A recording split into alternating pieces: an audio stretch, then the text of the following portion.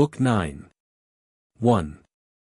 Of the animals that are comparatively obscure and short-lived the characters or dispositions are not so obvious to recognition as are those of animals that are longer-lived. These latter animals appear to have a natural capacity corresponding to each of the passions, to cunning or simplicity, courage or timidity, to good temper or to bad, and to other similar dispositions of mind. Some also are capable of giving or receiving instruction of receiving it from one another or from man, those that have the faculty of hearing, for instance. And, not to limit the matter to audible sound, such as can differentiate the suggested meanings of word and gesture. In all genera in which the distinction of male and female is found, nature makes a similar differentiation in the mental characteristics of the two sexes. This differentiation is the most obvious in the case of humankind and in that of the larger animals and the viviparous quadrupeds. In the case of these latter the female softer in character, is the sooner tamed, admits more readily of caressing, is more apt in the way of learning, as, for instance, in the Laconian breed of dogs the female is cleverer than the male. Of the Molossian breed of dogs, such as are employed in the chase are pretty much the same as those elsewhere, but sheep dogs of this breed are superior to the others in size, and in the courage with which they face the attacks of wild animals. Dogs that are born of a mixed breed between these two kinds are remarkable for courage and endurance of hard labor. In all cases, excepting those of the bear and leopard, the female is less spirited than the male. In regard to the two exceptional cases, the superiority in courage rests with the female. With all other animals the female is softer in disposition than the male, is more mischievous, less simple, more impulsive, and more attentive to the nurture of the young, the male, on the other hand, is more spirited than the female, more savage. More simple and less cunning. The traces of these differentiated characteristics are more or less visible everywhere, but they are especially visible where character is the more developed, and most of all in man. The fact is, the nature of man is the most rounded off and complete, and consequently in man the qualities or capacities above referred to are found in their perfection. Hence woman is more compassionate than man, more easily moved to tears, at the same time is more jealous, more querulous, more apt to scold and to strike. She is, furthermore, more prone to despondency and less hopeful than the man, more void of shame or self-respect, more false of speech, more deceptive, and of more retentive memory. She is also more wakeful, more shrinking, more difficult to rouse to action, and requires a smaller quantity of nutriment. As was previously stated, the male is more courageous than the female, and more sympathetic in the way of standing by to help. Even in the case of mollusks, when the cuttlefish is struck with the trident the male stands by to help the female. But when the male is struck the female runs away. There is enmity between such animals as dwell in the same localities or subsist on the food. If the means of subsistence run short, creatures of like kind will fight together. Thus it is said that seals which inhabit one and the same district will fight, male with male, and female with female, until one combatant kills the other, or one is driven away by the other, and their young do even in like manner. All creatures are at enmity with the carnivores, and the carnivores with all the rest, for they all subsist on living creatures. Soothsayers take notice of cases where animals keep apart from one another, and cases where they congregate together. Calling those that live at war with one another dissociates, and those that dwell in peace with one another associates. One may go so far as to say that if there were no lack or stint of food, then those animals that are now afraid of man or are wild by nature would be tame and familiar with him, and in like manner with one another. This is shown by the way animals are treated in Egypt, for owing to the fact that food is constantly supplied to them the very fiercest creatures live peaceably together. The fact is they are tamed by kindness, and in some places crocodiles are tamed to their priestly keeper from being fed by him. And elsewhere also the same phenomenon is to be observed. The eagle and the snake are enemies, for the eagle lives on snakes, so are the ichneumon and the venom spider, for the ichneumon preys upon the latter. In the case of birds, there is mutual enmity between the poecilis, the crested lark, the woodpecker, and the chloreus, for they devour one another's eggs, so also between the crow and the owl. For, owing to the fact that the owl is dim-sighted by day, the crow at midday preys upon the owl's eggs, and the owl at night upon the crows, each having the whip hand of the other, turn and turn about, night and day. There is enmity also between the owl and the wren, for the latter also devours the owl's eggs. In the daytime all other little birds flutter round the owl practice which is popularly termed, admiring him buffet him, and pluck out his feathers. In consequence of this habit, bird catchers use the owl as a decoy for catching little birds of all kinds. The so-called presbys or bold man is at war with the weasel and the crow, for they prey on her eggs and her brood. And so the turtle dove with the pyralis, for they live in the same districts and on the same food, and so with the green woodpecker and the libius. And so with kite and the raven, for, owing to his having the advantage from stronger talons and more rapid flight the former can steal whatever the latter is holding, so that it is food also that makes enemies of these.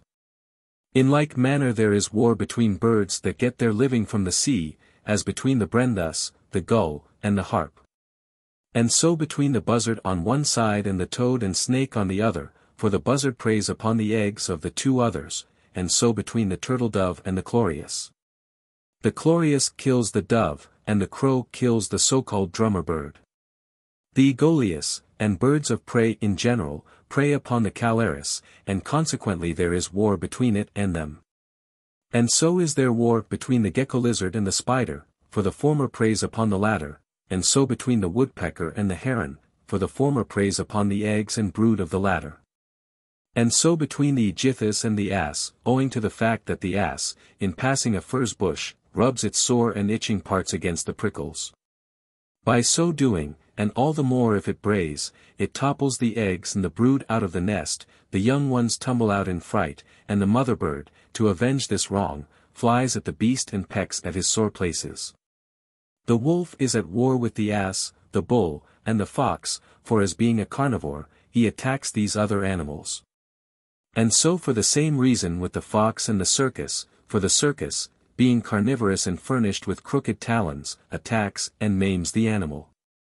And so the raven is at war with the bull and the ass, for it flies at them, and strikes them, and pecks at their eyes. And so with the eagle and the heron, for the former, having crooked talons, attacks the latter, and the latter usually succumbs to the attack, and so the merlin with the vulture. And the crex with the eleus owl, the blackbird, and the oriole, of this latter bird, by the way, the story goes that he was originally born out of a funeral pyre the cause of warfare is that the crex injures both them and their young. The nuthatch and the wren are at war with the eagle, the nuthatch breaks the eagle's eggs, so the eagle is at war with it on special grounds, though, as a bird of prey, it carries on a general war all round. The horse and the anthus are enemies, and the horse will drive the bird out of the field where he is grazing, the bird feeds on grass, and sees too dimly to foresee an attack. It mimics the whinnying of the horse, flies at him, and tries to frighten him away, but the horse drives the bird away, and whenever he catches it he kills it, this bird lives beside rivers or on marsh ground. It has pretty plumage, and finds its without trouble. The ass is at enmity with the lizard, for the lizard sleeps in his manger, gets into his nostril, and prevents his eating. Of herons there are three kinds, the ash-colored, the white, and the starry heron, or bittern. Of these the first mentioned submits with reluctance to the duties of incubation, or to union of the sexes. In fact, it screams during the union, and it is said drips blood from its eyes, it lays its eggs also in an awkward manner, not unattended with pain. It is at war with certain creatures that do it injury, with the eagle for robbing it, with the fox for worrying it at night, and with the lark for stealing its eggs. The snake is at war with the weasel and the pig. With the weasel when they are both at home, for they live on the same food, with the pig for preying on her kind. The merlin is at war with the fox, it strikes and claws it, and, as it has crooked talons, it kills the animal's young. The raven and the fox are good friends, for the raven is at enmity with the merlin, and so when the merlin assails the fox the raven comes and helps the animal. The vulture and the merlin are mutual enemies, as being both furnished with crooked talons.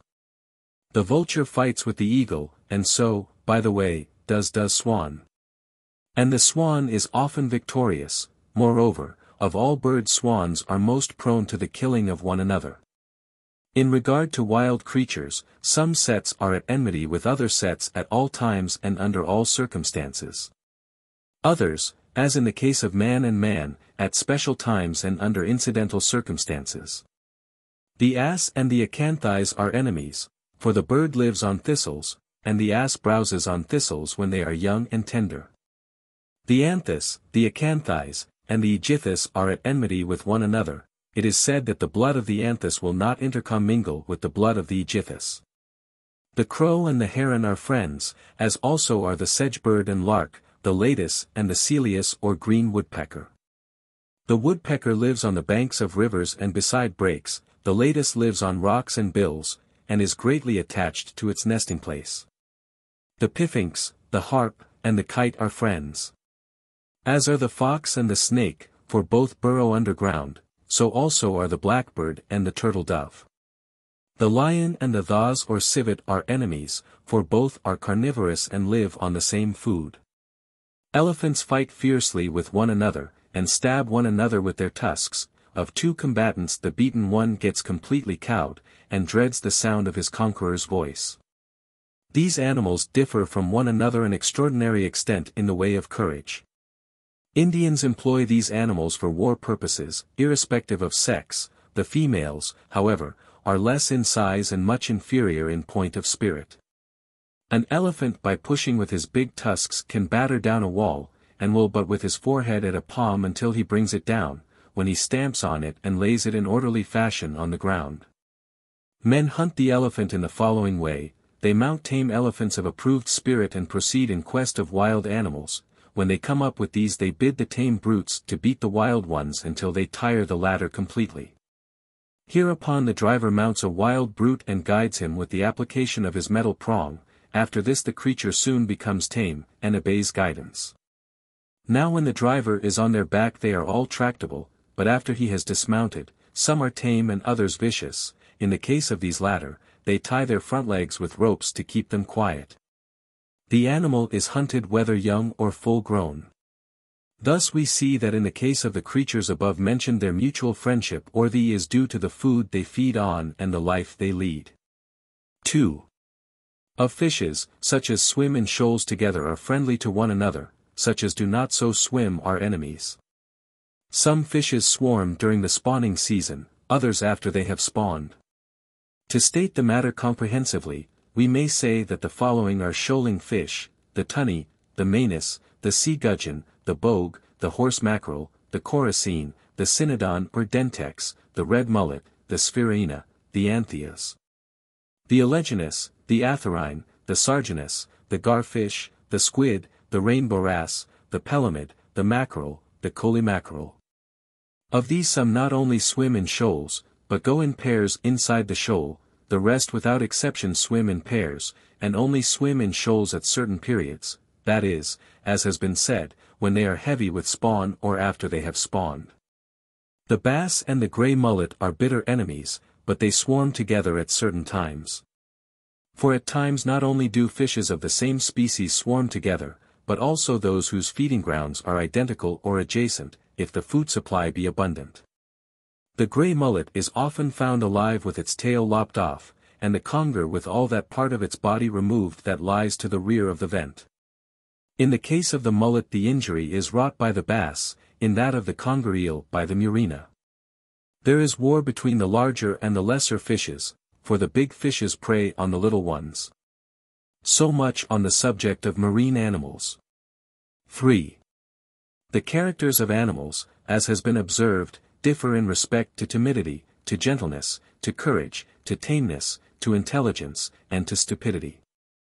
The sheep is said to be naturally dull and stupid.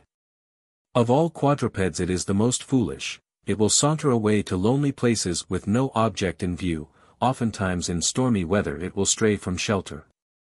If it be overtaken by a snowstorm, it will stand still unless the shepherd sets it in motion, it will stay behind and perish unless the shepherd brings up the rams, it will then follow home.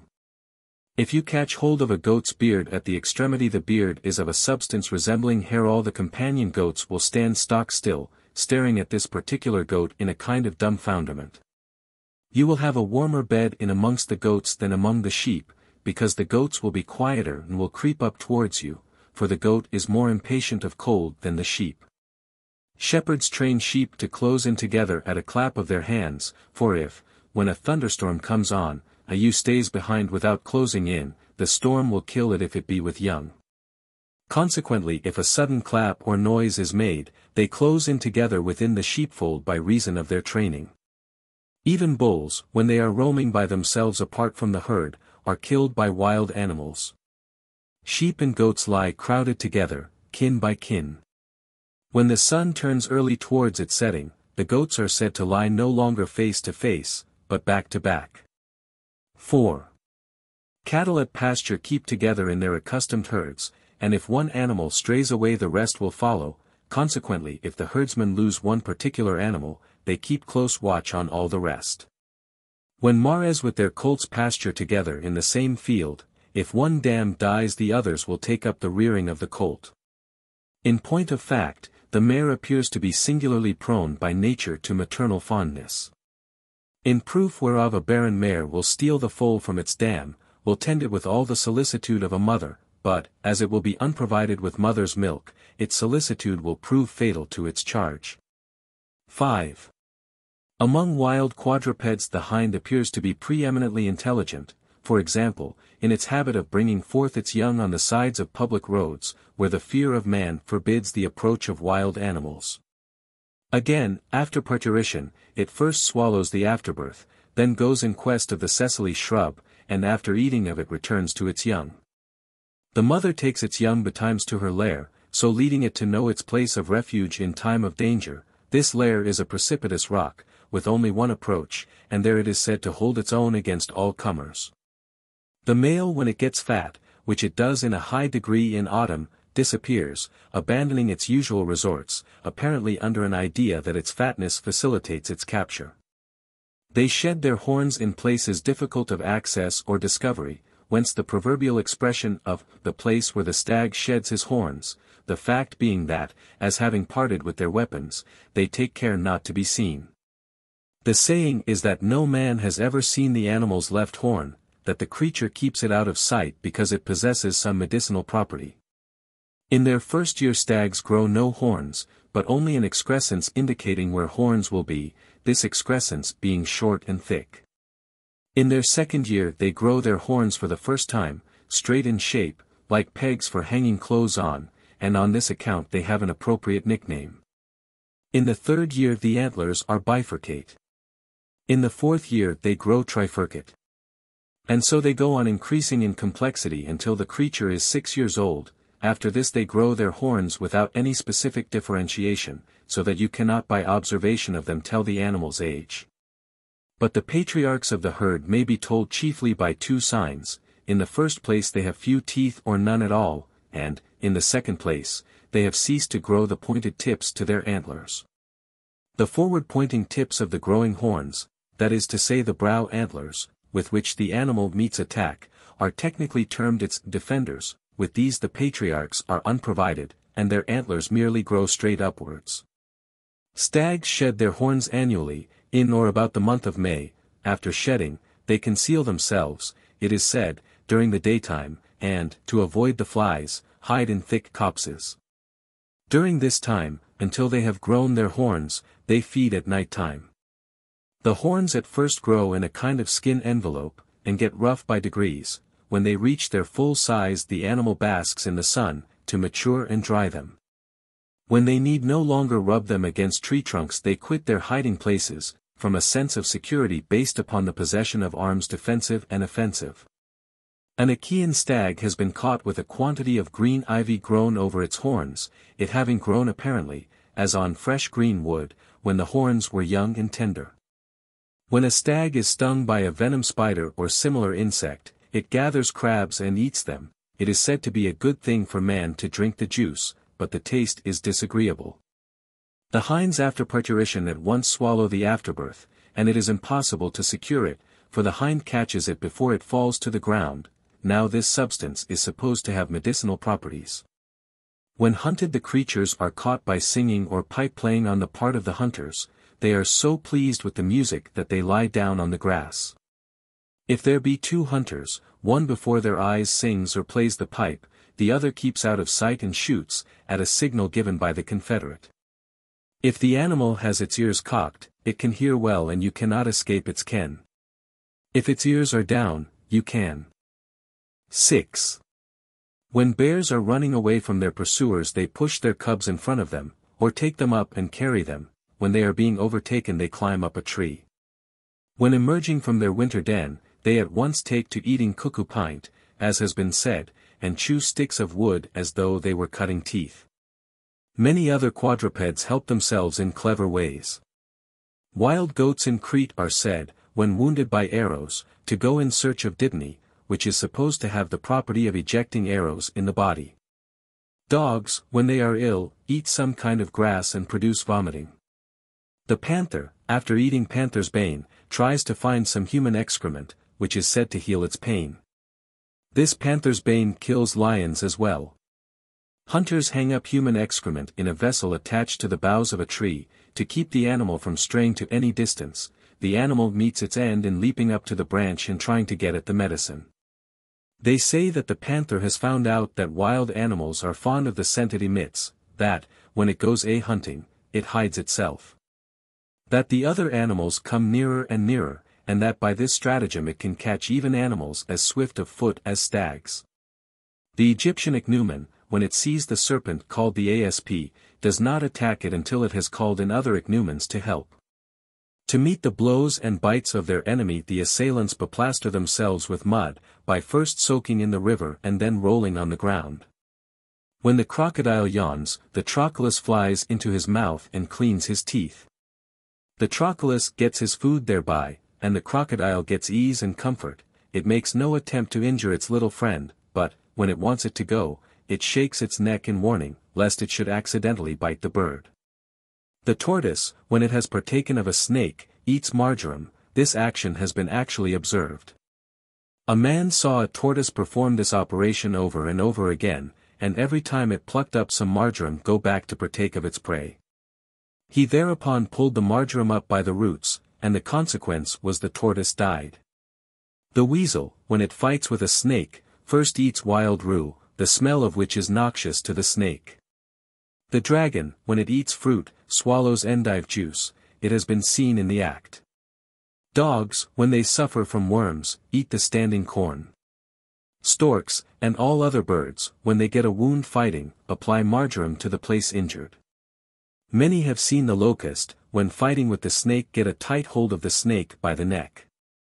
The weasel has a clever way of getting the better of birds, it tears their throats open, as wolves do with sheep. Weasels fight desperately with mice-catching snakes, as they both prey on the same animal. In regard to the instinct of hedgehogs, it has been observed in many places that, when the wind is shifting from north to south, and from south to north, they shift the outlook of their earth holes. And those that are kept in domestication shift over from one wall to the other. The story goes that a man in Byzantium got into high repute for foretelling a change of weather, all owing to his having noticed this habit of the hedgehog. The polecat or marten is about as large as the smaller breed of Maltese dogs.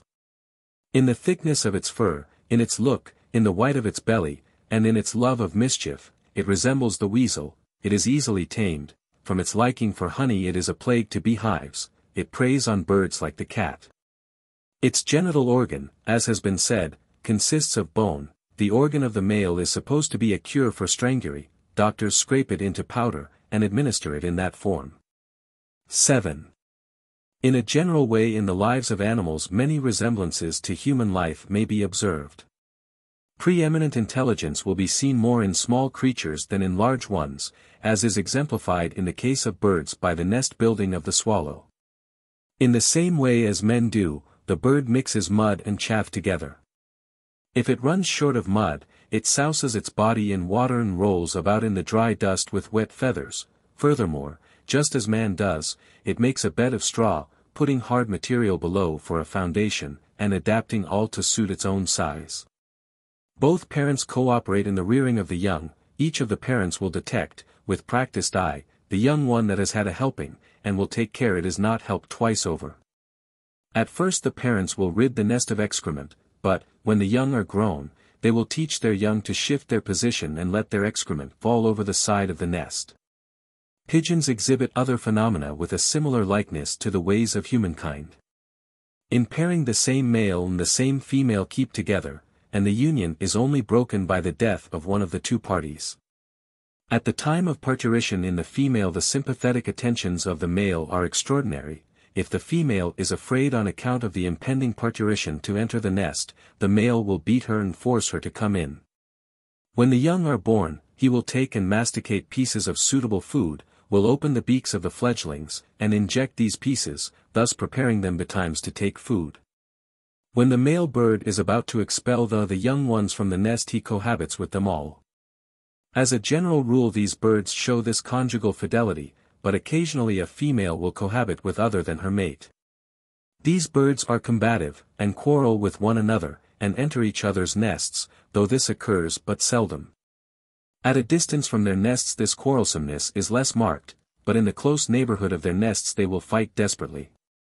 A peculiarity common to the tame pigeon, the ring dove and the turtle dove is that they do not lean the head back when they are in the act of drinking, but only when they have fully quenched their thirst.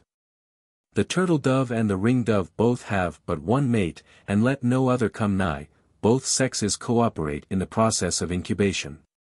It is difficult to distinguish between the sexes except by an examination of their interiors. Ringdoves are long-lived, cases have been known where such birds were 25 years old, 30 years old, and in some cases 40. As they grow old their claws increase in size, and pigeon fanciers cut the claws. As far as one can see, the birds suffer no other perceptible disfigurement by their increase in age. Turtle doves and pigeons that are blinded by fanciers for use as decoys, live for 8 years. Partridges live for about 15 years. Ring doves and turtle doves always build their nests in the same place year after year. The male, as a general rule, is more long-lived than the female. But in the case of pigeons some assert that the male dies before the female, taking their inference from the statements of persons who keep decoy birds in captivity. Some declare that the male sparrow lives only a year, pointing to the fact that early in spring the male sparrow has no black beard, but has one later on, as though the black-bearded birds of the last year had all died out. They also say that the females are the longer lived, on the grounds that they are caught in amongst the young birds and that their age is rendered manifest by the hardness about their beaks. Turtle doves in summer live in cold places, and in warm places during the winter, chaffinches affect warm habitations in summer and cold ones in winter. 8. Birds of a heavy build, such as quails, partridges, and the like, build no nests. Indeed, where they are incapable of flight, it would be of no use if they could do so.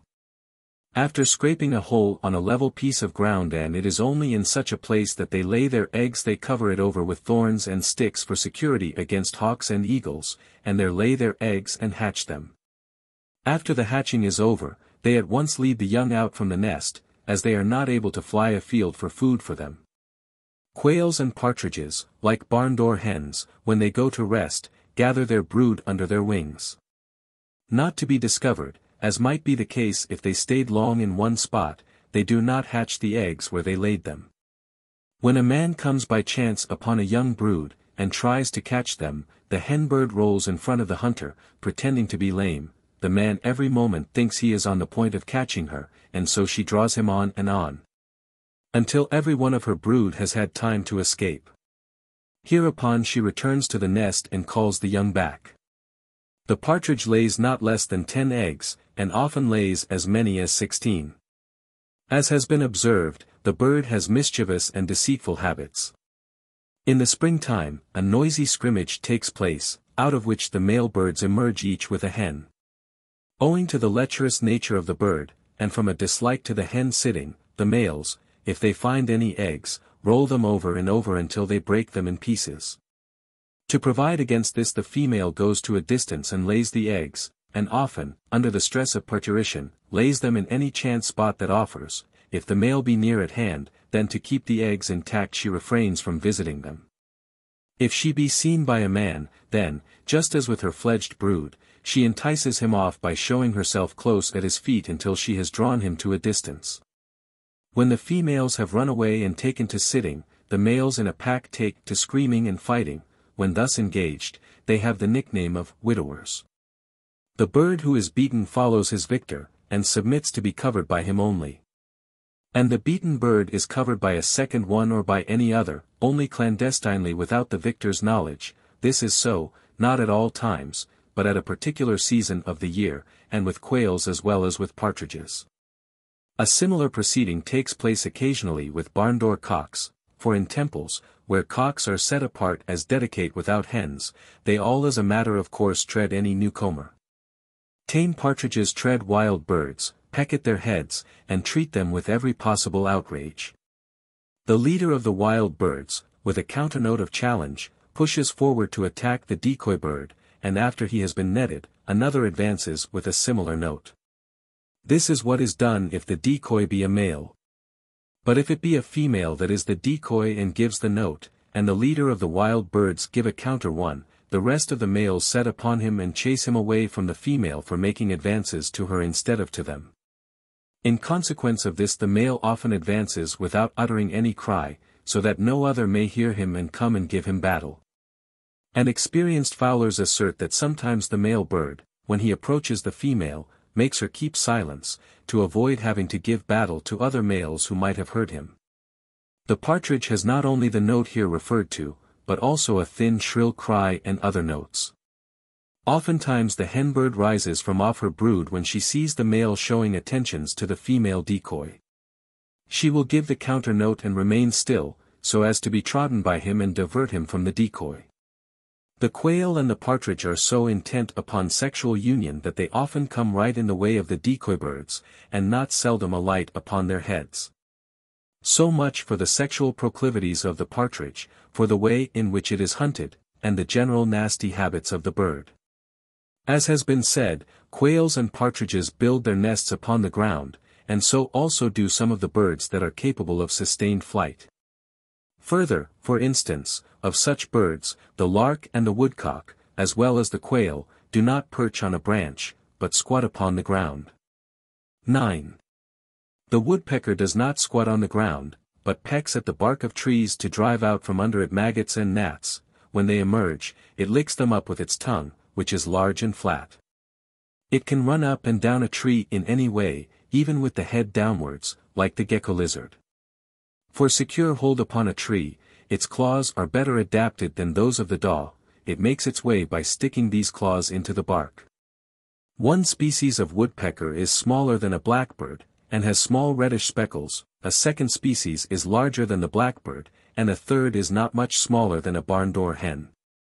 It builds a nest on trees, as has been said, on olive trees amongst others.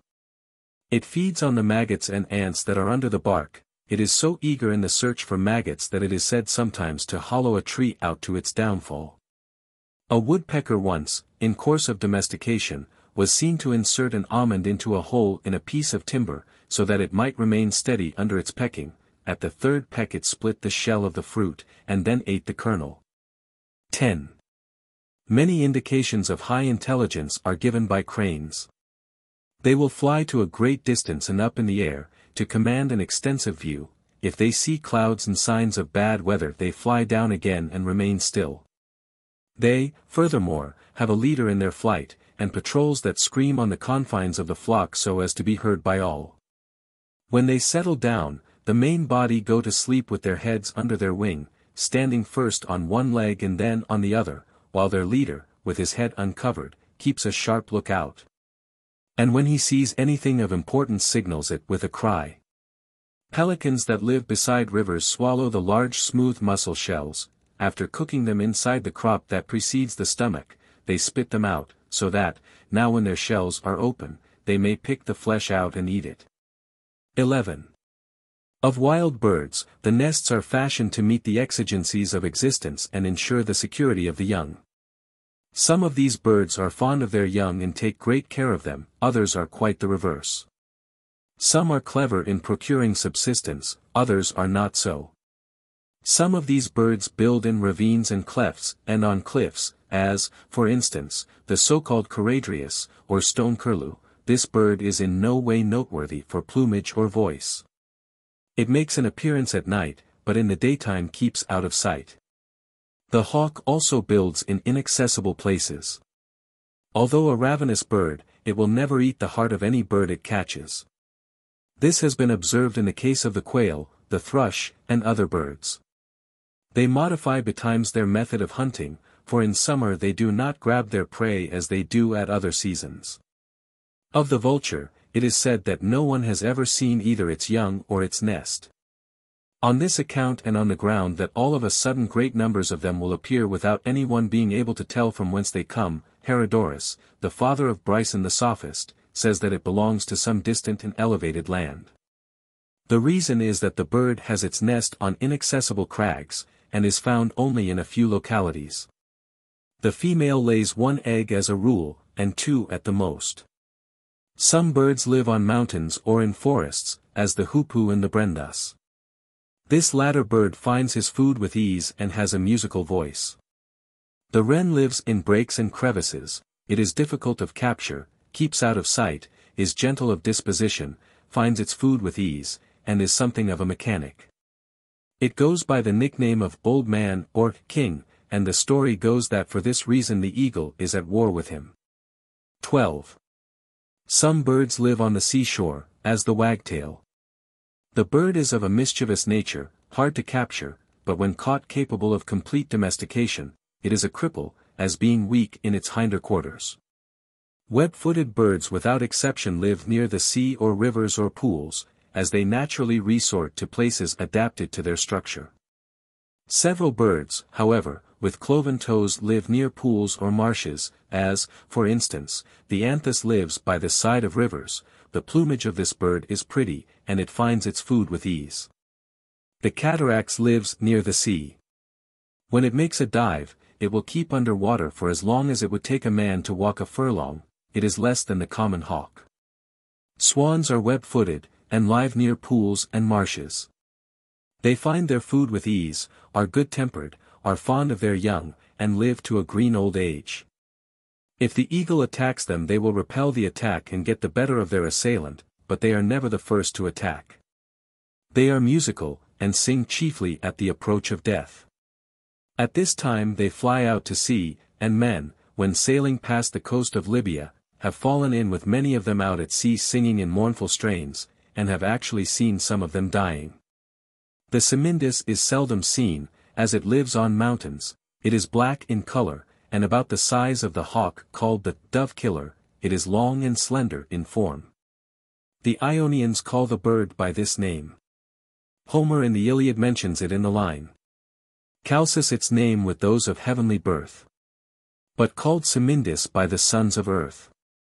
The hybris, said by some to be the same as the eagle owl, is never seen by daylight, as it is dim-sighted, but during the night it hunts like the eagle. It will fight the eagle with such desperation that the two combatants are often captured alive by shepherds, it lays two eggs, and, like others we have mentioned, it builds on rocks and in caverns. Cranes also fight so desperately among themselves as to be caught when fighting, for they will not leave off, the crane lays two eggs. 13. The jay has a great variety of notes, indeed, might almost say it had a different note for every day in the year. It lays about nine eggs, builds its nest on trees, out of hair and tags of wool. When acorns are getting scarce, it lays up a store of them in hiding.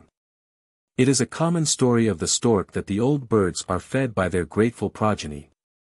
Some tell a similar story of the bee-eater, and declare that the parents are fed by their young not only when growing old, but at an early period, as soon as the young are capable of feeding them, and the parent bird stay inside the nest.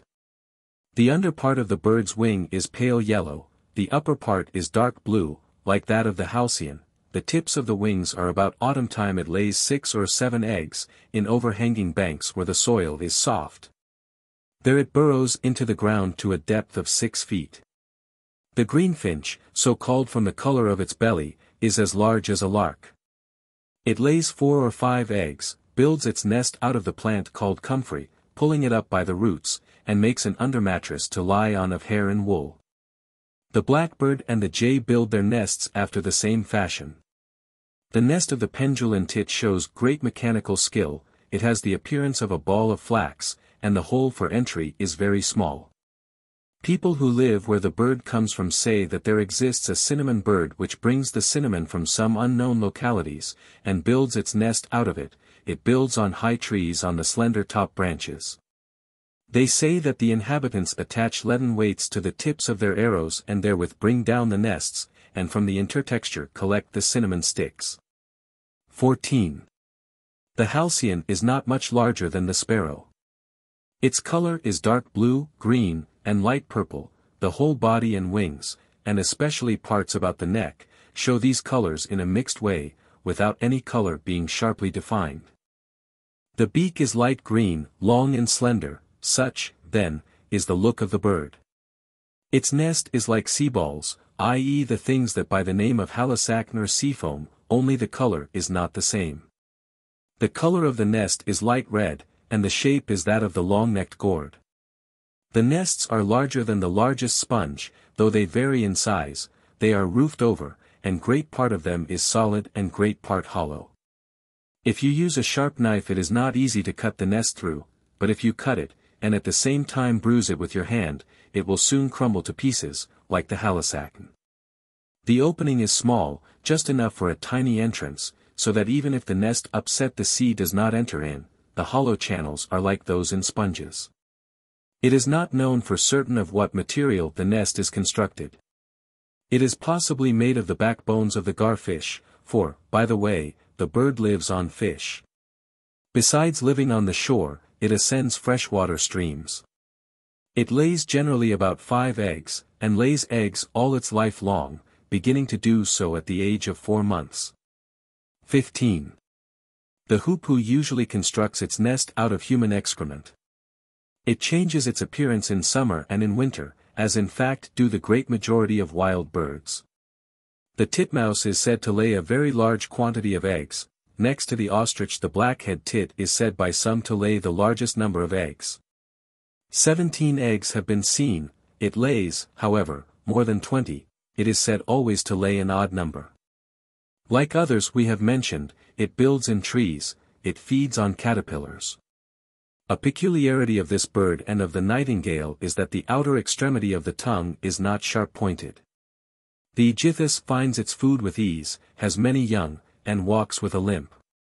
The golden oriole is apt at learning, is clever at making a living, but is awkward in flight and has an ugly plumage. 16. The reed warbler makes its living as easily as any other bird, sits in summer in a shady spot facing the wind, in winter in a sunny and sheltered place among reeds in a marsh, it is small in size, with a pleasant note. The so-called chatterer has a pleasant note, beautiful plumage, makes a living cleverly, and is graceful in form, it appears to be alien to our country, at all events it is seldom seen at a distance from its own immediate home. 17. The crake is quarrelsome, clever at making a living, but in other ways an unlucky bird. The bird called sitta is quarrelsome, but clever and tidy, makes its living with ease, and for its knowingness is regarded as uncanny. It has a numerous brood, of which it is fond, and lives by pecking the bark of trees.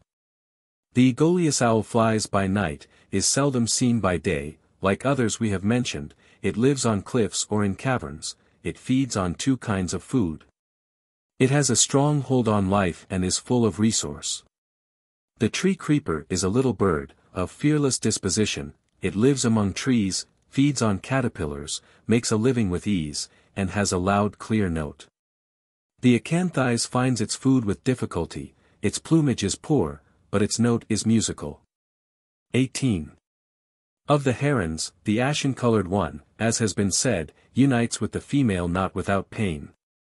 It is full of resource, carries its food with it, is eager in the quest of it, and works by day, its plumage is poor, and its excrement is always wet.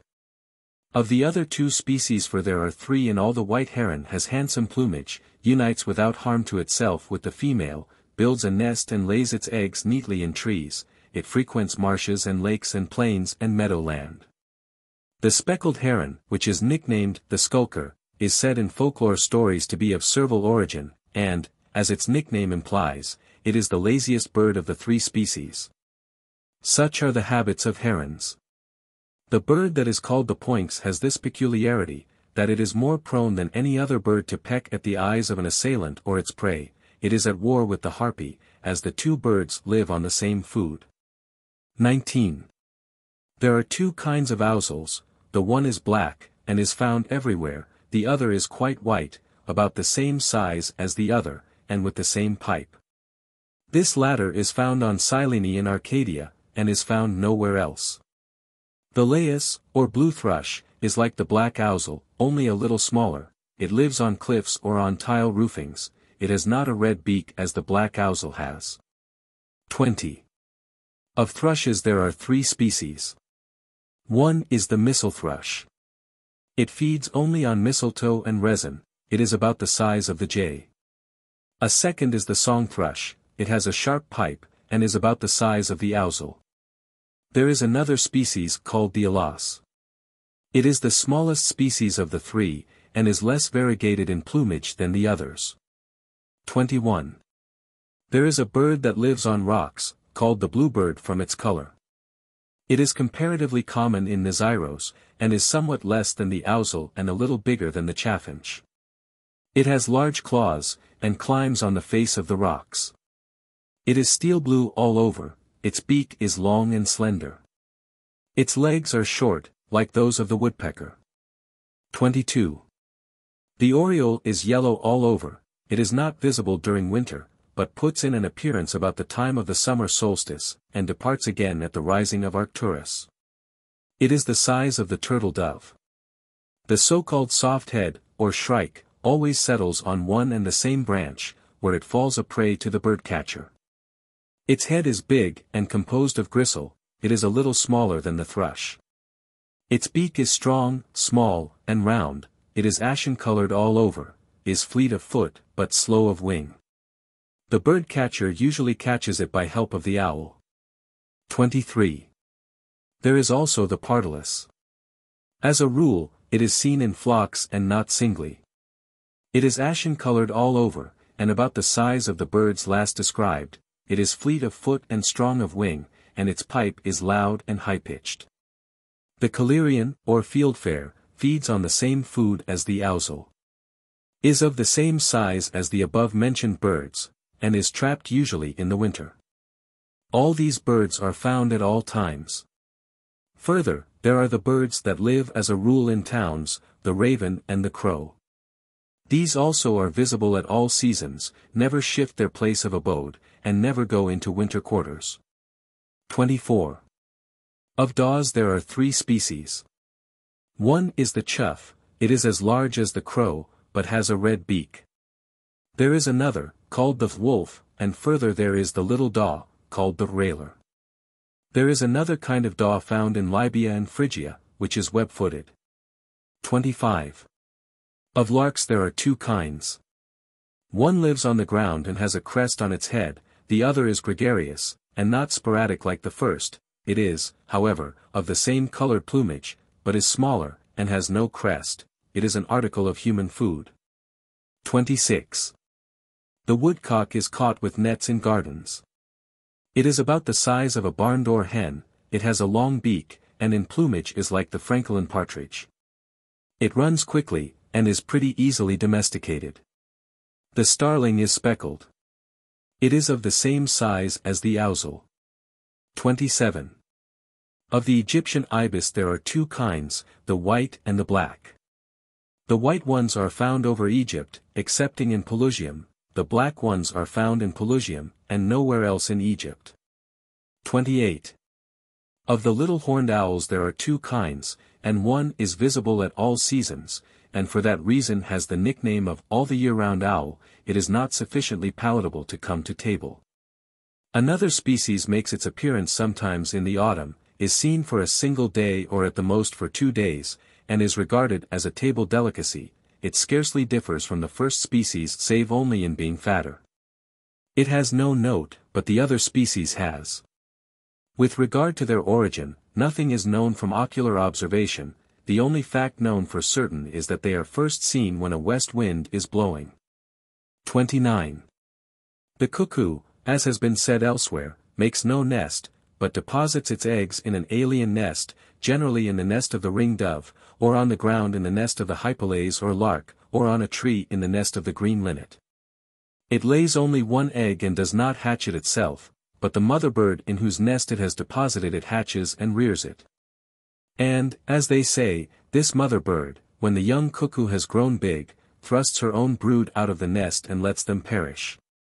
Others say that this mother bird kills her own brood and gives them to the alien to devour, despising her own young owing to the beauty of the cuckoo. Personal observers agree in telling most of these stories, but are not in agreement as to the instruction of the young. Some say that the mother cuckoo comes and devours the brood of the rearing mother. Others say that the young cuckoo from its superior size snaps up the food brought before the smaller brood have a chance, and that in consequence the smaller brood die of hunger. Others say that, by its superior strength, it actually kills the other ones whilst it is being reared up with them. The cuckoo shows great sagacity in the disposal of its progeny. The fact is, the mother cuckoo is quite conscious of her own cowardice and of the fact that she could never help her young one in an emergency, and so, for the security of the young one, she makes of him a supposititious child in an alien nest. The truth is, this bird is preeminent among birds in the way of cowardice, it allows itself to be pecked at by little birds, and flies away from their attacks. 30. It has already been stated that the footless bird, which some term the cypselus, resembles the swallow, indeed, it is not easy to distinguish between the two birds, excepting in the fact that the cypselus has feathers on the shank. These birds rear their young in long cells made of mud, and furnished with a hole just big enough for entry and exit, they build under cover of some roofing under a rock or in a cavern for protection against animals and men.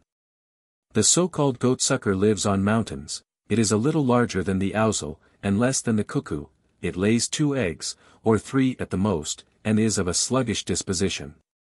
It flies up to the she-goat and sucks its milk, from which habit it derives its name, it is said that, after it has sucked the teat of the animal, the teat dries up and the animal goes blind. It is dim-sighted in the daytime, but sees well enough by night. 31. In narrow circumscribed districts where the food would be insufficient for more birds than two, ravens are only found in isolated pairs.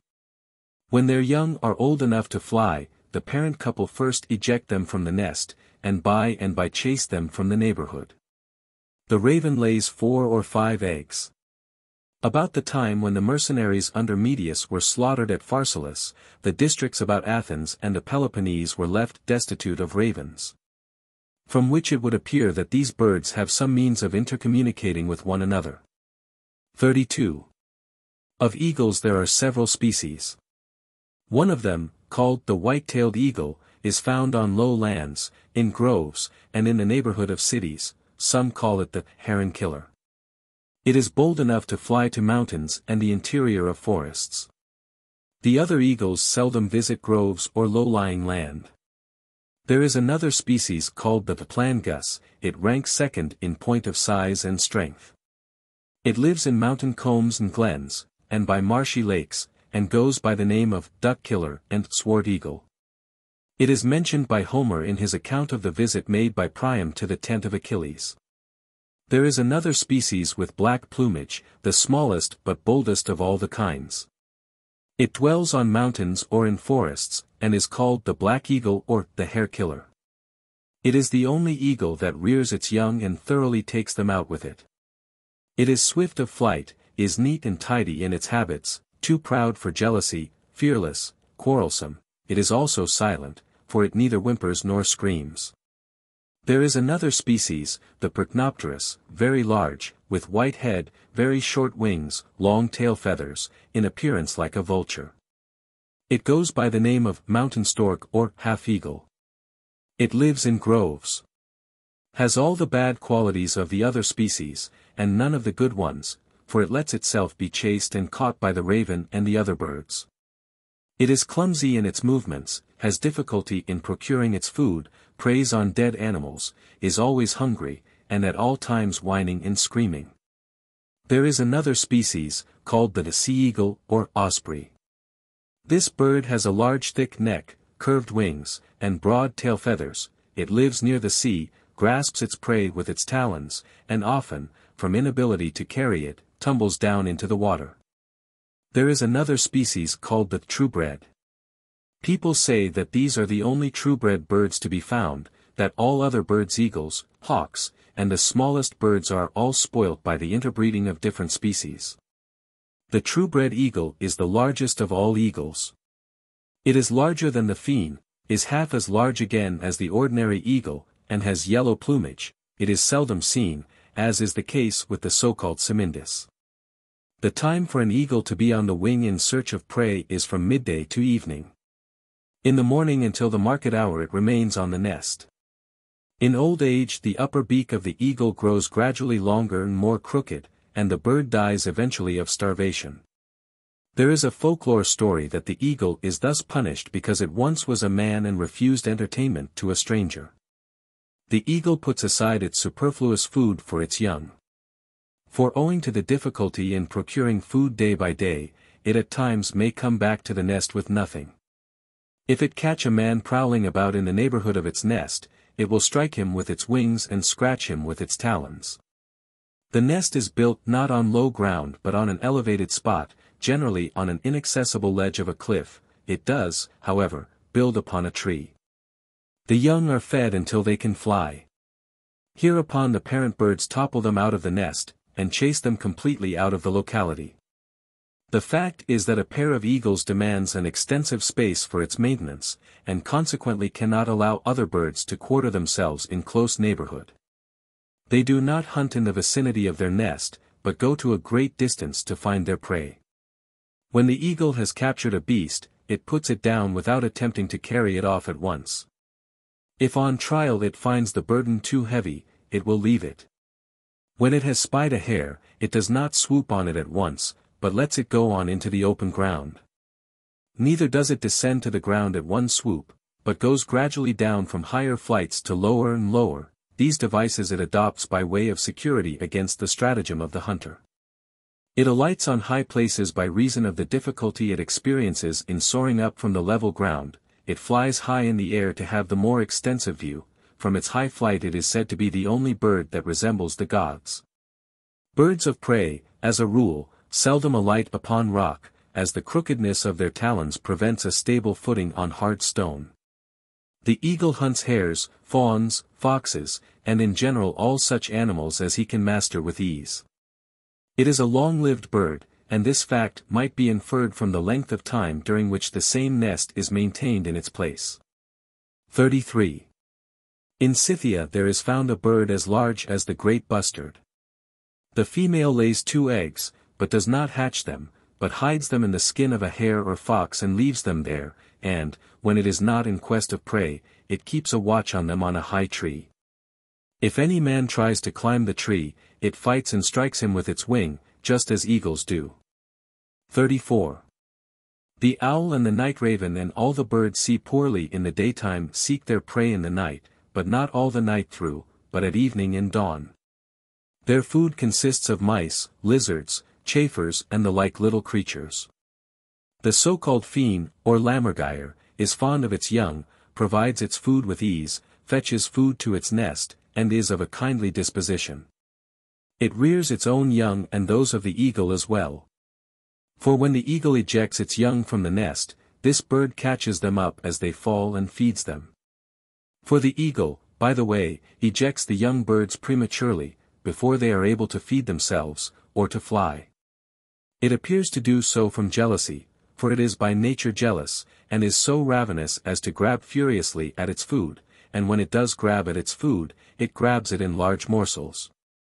It is accordingly jealous of the young birds as they approach maturity, since they are getting good appetites, and so it scratches them with its talons. The young birds fight also with one another, to secure a morsel of food or a comfortable position, whereupon the mother bird beats them and ejects them from the nest. The young ones scream at this treatment, and the fiend hearing them catches them as they fall. The fiend has a film over its eyes and sees badly, but the sea eagle is very keen-sighted, and before its young are fledged tries to make them stare at the sun, and beats the one that refuses to do so, and twists him back in the sun's direction. And if one of them gets watery eyes in the process, it kills him, and rears the other. It lives near the sea, and feeds, as has been said, on sea birds. When in pursuit of them it catches them one by one, watching the moment when the bird rises to the surface from its dive. When a sea bird, emerging from the water, sees the sea eagle, he in terror dives under, intending to rise again elsewhere. The eagle, however, owing to its keenness of vision, keeps flying after him until he either drowns the bird or catches him on the surface. The eagle never attacks these birds when they are in a swarm, for they keep him off by raising a shower of water drops with their wings. 35. The cephus is caught by means of sea foam. The bird snaps at the foam, and consequently fishermen catch it by sluicing with showers of seawater. These birds grow to be plump and fat, their flesh has a good odor, excepting the hinder quarters, which smell of shoreweed. 36. Of hawks, the strongest is the buzzard, the next in point of courage is the merlin, and the circus ranks third, other diverse kinds are the asterias, the pigeon hawk, and the pternis, the broad-winged hawk is called the half-buzzard. Others go by the name of hobbyhawk, or sparrowhawk, or smooth-feathered, or toadcatcher. Birds of this latter species find their food with very little difficulty, and flutter along the ground. Some say that there are ten species of hawks, all differing from one another. One hawk, they say, will strike and grab the pigeon as it rests on the ground, but never touch it while it is in flight. Another hawk attacks the pigeon when it is perched upon a tree or any elevation, but never touches it when it is on the ground or on the wing, other hawks attack their prey only when it is on the wing. They say that pigeons can distinguish the various species, so that, when a hawk is an assailant, if it be one that attacks its prey when the prey is on the wing, the pigeon will sit still. If it be one that attacks sitting prey, the pigeon will rise up and fly away. In Thrace, in the district sometimes called that of Cedripolis, men hunt for little birds in the marshes with the aid of hawks. The men with sticks in their hands go beating at the reeds and brushwood to frighten the birds out, and the hawks show themselves overhead and frighten them down.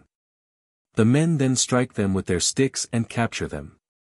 They give a portion of their booty to the hawks, that is, they throw some of the birds up in the air, and the hawks catch them. In the neighborhood of Lake Maeotis, it is said, wolves act in concert with the fishermen, and if the fishermen decline to share with them, they tear their nets in pieces as they lie drying on the shore of the lake. 37. So much for the habits of birds. In marine creatures, also, one in marine creatures, also, one may observe many ingenious devices adapted to the circumstances of their lives. For the accounts commonly given of the so-called fishing frog are quite true, as are also those given of the torpedo. The fishing frog has a set of filaments that project in front of its eyes. They are long and thin like hairs, and are round at the tips, they lie on either side, and are used as baits. Accordingly, when the animal stirs up a place full of sand and mud and conceals itself therein, it raises the filaments, and, when the little fish strike against them, it draws them in underneath into its mouth. The torpedo narcotizes the creatures that it wants to catch, overpowering them by the power of shock that is resident in its body, and feeds upon them. It also hides in the sand and mud, and catches all the creatures that swim in its way and come under its narcotizing influence. This phenomenon has been actually observed in operation. The stingray also conceals itself, but not exactly in the same way. That the creatures get their living by this means is obvious from the fact that, whereas they are peculiarly inactive, they are often caught with mullets in their interior, the swiftest of fishes. Furthermore, the fishing frog is unusually thin when he is caught after losing the tips of his filaments, and the torpedo is known to cause a numbness even in human beings. Again, the hake, the ray, the flatfish, and the angelfish burrow in the sand, and after concealing themselves angle with the filaments on their mouths, that fishermen call their fishing rods. And the little creatures on which they feed swim up to the filaments taking them for bits of seaweed, such as they feed upon. Wherever an anthias fish is seen, there will be no dangerous creatures in the vicinity, and sponge divers will dive in security, and they call these signal fishes holy fish. It is a sort of perpetual coincidence, like the fact that wherever snails are present you may be sure there is neither pig nor partridge in the neighborhood, for both pig and partridge eat up the snails. The sea serpent resembles the conger in color and shape, but is of lesser bulk and more rapid in its movements. If it be caught and thrown away, it will bore a hole with its snout and burrow rapidly in the sand. Its snout, by the way, is sharper than that of ordinary serpents. The so-called sea scolopendra, after swallowing the hook, turns itself inside out until it ejects it, and then it again turns itself outside in. The sea scolopendra, like the land scolopendra, will come to a savory bait, the creature does not bite with its teeth, but stings by contact with its entire body, like the so-called sea nettle. The so-called fox shark, when it finds it has swallowed the hook, tries to get rid of it as the scolopendra does, but not in the same way, in other words, it runs up the fishing line, and bites it off short. It is caught in some districts in deep and rapid waters, with night lines. The bonitos swarm together when they espy a dangerous creature, and the largest of them swim round it, and if it touches one of the shoal they try to repel it. They have strong teeth. Amongst other large fish, a lamia shark, after falling in amongst a shoal, has been seen to be covered with wounds. Of river fish, the male of the sheatfish is remarkably attentive to the young. The female after parturition goes away. The male stays and keeps on guard where the spawn is most abundant, contenting himself with keeping off all other little fishes that might steal the spawn or fry, and this he does for forty or fifty days. Until the young are sufficiently grown to make away from the other fishes for themselves. The fisherman can tell where he is on guard, for, in warding off the little fishes, he makes a rush in the water and gives utterance to a kind of muttering noise. He is so earnest in the performance of his parental duties that the fisherman at times, if the eggs be attached to the roots of water plants deep in the water, drag them into as shallow a place as possible. The male fish will still keep by the young, and, if it so happen, will be caught by the hook when snapping at the little fish that come by. If, however, he be sensible by experience of the danger of the hook, he will still keep by his charge, and with his extremely strong teeth will bite the hook in pieces. All fishes, both those that wander about and those that are stationary, occupy the districts where they were born or very similar places, for their natural food is found there. Carnivorous fish wander most.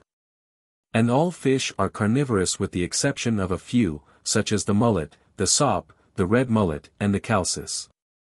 The so-called pholis gives out a mucus discharge, which envelopes the creature in a kind of nest. Of shellfish, and fish that are finless, the scallop moves with greatest force and to the greatest distance, impelled along by some internal energy, the murex or purple fish, and others that resemble it, move hardly at all. Out of the lagoon of Pyrrha all the fishes swim in winter-time, except the sea gudgeon, they swim out owing to the cold, for the narrow waters are colder than the outer sea, and on the return of the early summer they all swim back again. In the lagoon no scarus is found, nor thritta, nor any other species of the spiny fish, no spotted dogfish, no spiny dogfish, no sea crawfish, no octopus either of the common or the musky kinds, and certain other fish are also absent.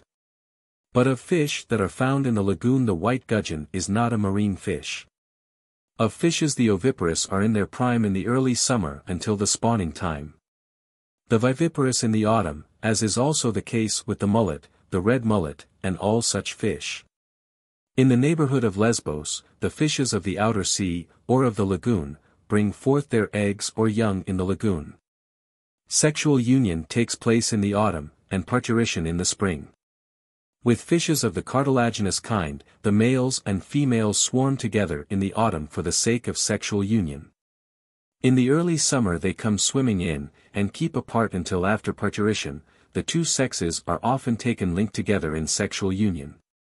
Of mollusks the sepia is the most cunning, and is the only species that employs its dark liquid for the sake of concealment as well as from fear, the octopus and calamari make the discharge solely from fear. These creatures never discharge the pigment in its entirety, and after a discharge the pigment accumulates again. The sepia, as has been said, often uses its coloring pigment for concealment. It shows itself in front of the pigment and then retreats back into it, it also hunts with its long tentacles not only little fishes, but oftentimes even mullets. The octopus is a stupid creature, for it will approach a man's hand if it be lowered in the water. But it is neat and thrifty in its habits, that is, it lays up stores in its nest, and, after eating up all that is eatable, it ejects the shells and sheaths of crabs and shellfish, and the skeletons of little fishes. It seeks its prey by so changing its color as to render it like the color of the stones adjacent to it, it does so also when alarmed. By some the sepia is said to perform the same trick. That is, they say it can change its color so as to make it resemble the color of its habitat. The only fish that can do this is the angelfish, that is, it can change its color like the octopus. The octopus as a rule does not live the year out. It has a natural tendency to run off into liquid, for, if beaten and squeezed, it keeps losing substance and at last disappears. The female after parturition is peculiarly subject to this colliquefaction, it becomes stupid. If tossed about by waves, it submits impassively, a man, if he dived, could catch it with the hand, it gets covered over with slime, and makes no effort to catch its wanted prey. The male becomes leathery and clammy. As a proof that they do not live into a second year there is the fact that, after the birth of the little octopuses in the late summer or beginning of autumn, it is seldom that a large-sized octopus is visible. Whereas a little before this time of year the creature is at its largest. After the eggs are laid, they say that both the male and the female grow so old and feeble that they are preyed upon by little fish, and with ease dragged from their holes, and that this could not have been done previously. They say also that this is not the case with the small and young octopus, but that the young creature is much stronger than the grown-up one. Neither does the sepia live into a second year. The octopus is the only mollusk that ventures on to dry land, it walks by preference on rough ground, it is firm all over when you squeeze it, excepting in the neck. So much for the mollusca. It is also said that they make a thin rough shell about them like a hard sheath, and that this is made larger and larger as the animal grows larger, and that it comes out of the sheath as though out of a den or dwelling place. The nautilus, or argonaut, is a poulp or octopus, but one peculiar both in its nature and its habits. It rises up from deep water and swims on the surface. It rises with its shell downturned in order that it may rise the more easily and swim with it empty, but after reaching the surface it shifts the position of the shell. In between its feelers it has a certain amount of web growth, resembling the substance between the toes of web-footed birds, only that with these latter the substance is thick, while with the nautilus it is thin and like a spider's web. It uses this structure, when a breeze is blowing, for a sail, and lets down some of its feelers alongside as rudder oars. If it be frightened it fills its shell with water and sinks. With regard to the mode of generation and the growth of the shell knowledge from observation is not yet satisfactory, the shell, however, does not appear to be there from the beginning, but to grow in their cases as in that of other shellfish. Neither is it ascertained for certain whether the animal can live when stripped of the shell. 38. Of all insects, one may also say of all living creatures, the most industrious are the ant, the bee, the hornet, the wasp, and in point of fact all creatures akin to these, of spiders some are more skillful and more resourceful than others. The way in which ants work is open to ordinary observation, how they all march one after the other when they are engaged in putting away and storing up their food. All this may be seen, for they carry on their work even during bright moonlight nights. 39. Of spiders and phalangia there are many species. Of the venomous phalangia there are two. One that resembles the so-called wolf spider, small, speckled, and tapering to a point, it moves with leaps, from which habit it is nicknamed the flea, the other kind is large, black in color, with long front legs. It is heavy in its movements, walks slowly, is not very strong, and never leaps. Of all the other species wherewith poison vendors supply themselves, some give a weak bite, and others never bite at all. There is another kind, comprising the so-called wolf spiders. Of these spiders the small one weaves no web, and the large weaves a rude and poorly built one on the ground or on dry stone walls.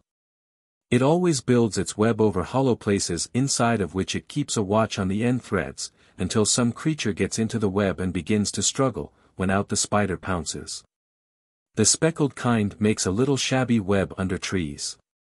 There is a third species of this animal, preeminently clever and artistic. It first weaves a thread stretching to all the exterior ends of the future web, then from the center, which it hits upon with great accuracy, it stretches the warp. On the warp it puts what corresponds to the woof, and then weaves the whole together. It sleeps and stores its food away from the center, but it is at the center that it keeps watch for its prey. Then, when any creature touches the web and the center is set in motion, it first ties and wraps the creature round with threads until it renders it helpless, then lifts it and carries it off, and, if it happens to be hungry, sucks out the life juices, for that is the way it feeds. But, if it be not hungry, it first mends any damage done and then hastens again to its quest of prey. If something comes meanwhile into the net, the spider at first makes for the center, and then goes back to its entangled prey as from a fixed starting point. If anyone injures a portion of the web, it recommences weaving at sunrise or at sunset, because it is chiefly at these periods that creatures are caught in the web. It is the female that does the weaving and the hunting, but the male takes a share of the booty captured. Of the skillful spiders, weaving a substantial web, there are two kinds, the larger and the smaller. The one has long legs and keeps watch while swinging downwards from the web, from its large size it cannot easily conceal itself, and so it keeps underneath, so that its prey may not be frightened off, but may strike upon the web's upper surface. The less awkwardly formed one lies in wait on the top, using a little hole for a lurking place. Spiders can spin webs from the time of their birth, not from their interior as a superfluity or excretion, as Democritus avers, but off their body as a kind of tree bark, like the creatures that shoot out with their hair. As for instance the porcupine. The creature can attack animals larger than itself, and enwrap them with its threads, in other words, it will attack a small lizard, run round and draw threads about its mouth until it closes the mouth up, then it comes up and bites it. 40. So much for the spider. Of insects, there is a genus that has no one name that comprehends all the species, though all the species are akin to one another in form. It consists of all the insects that construct a honeycomb, to wit, the bee, and all the insects that resemble it in form.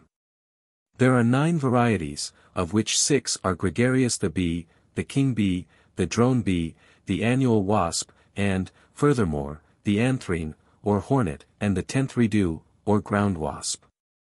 Three are solitary the smaller siren, of a dun color, the larger siren, black and speckled, and the third, the largest of all, that is called the humblebee. Now ants never go a hunting, but gather up what is ready to hand. The spider makes nothing, and lays up no store, but simply goes a hunting for its food.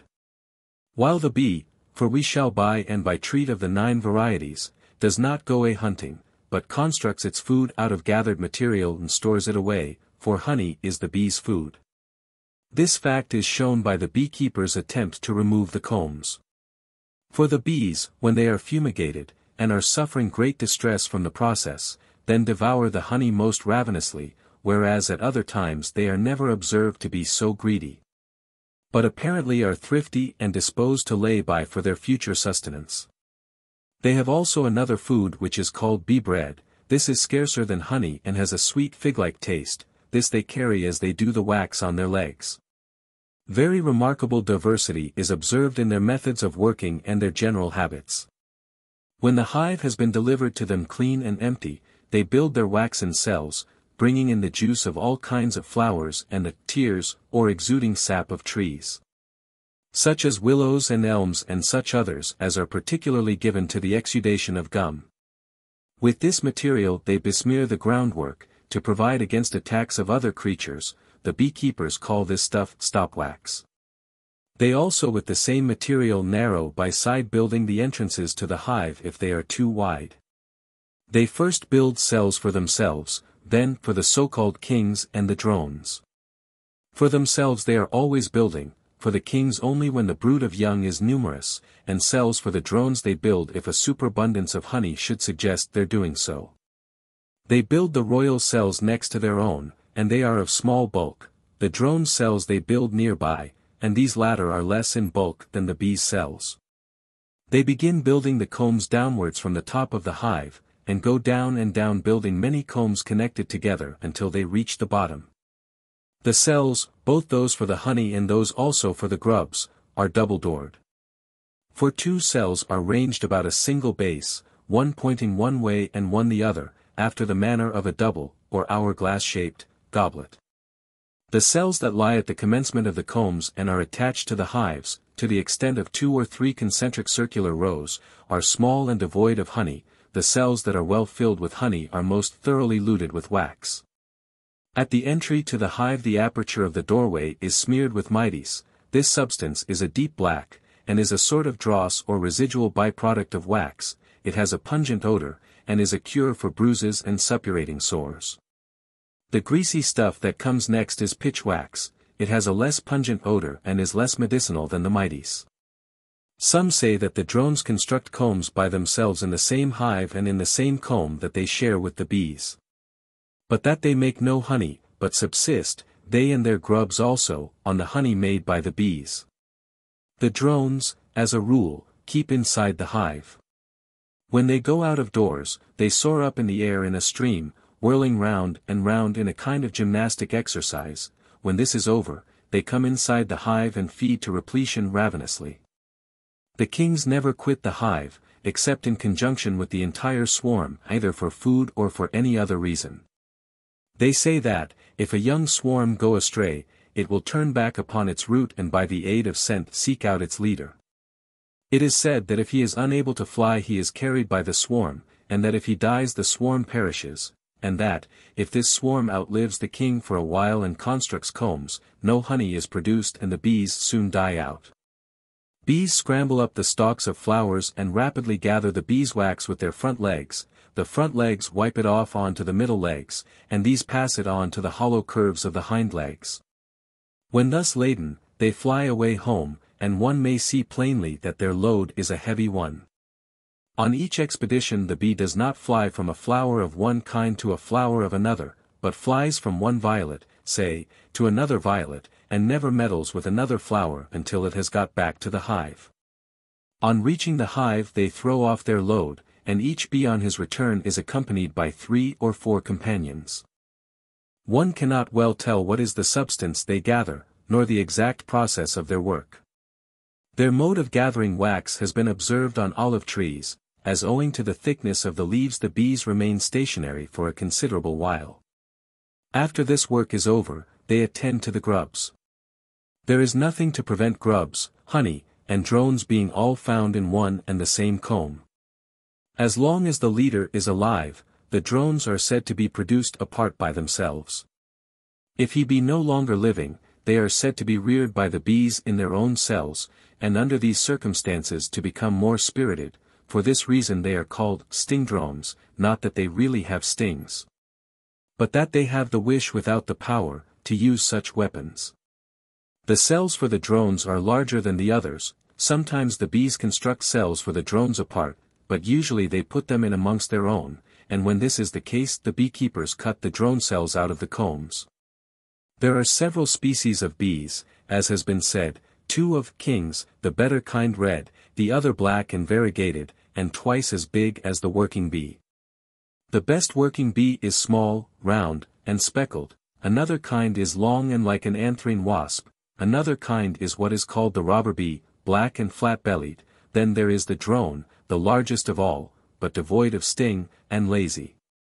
There is a difference between the progeny of bees that inhabit cultivated land and of those from the mountains, the forest bees are more shaggy, smaller, more industrious and more fierce.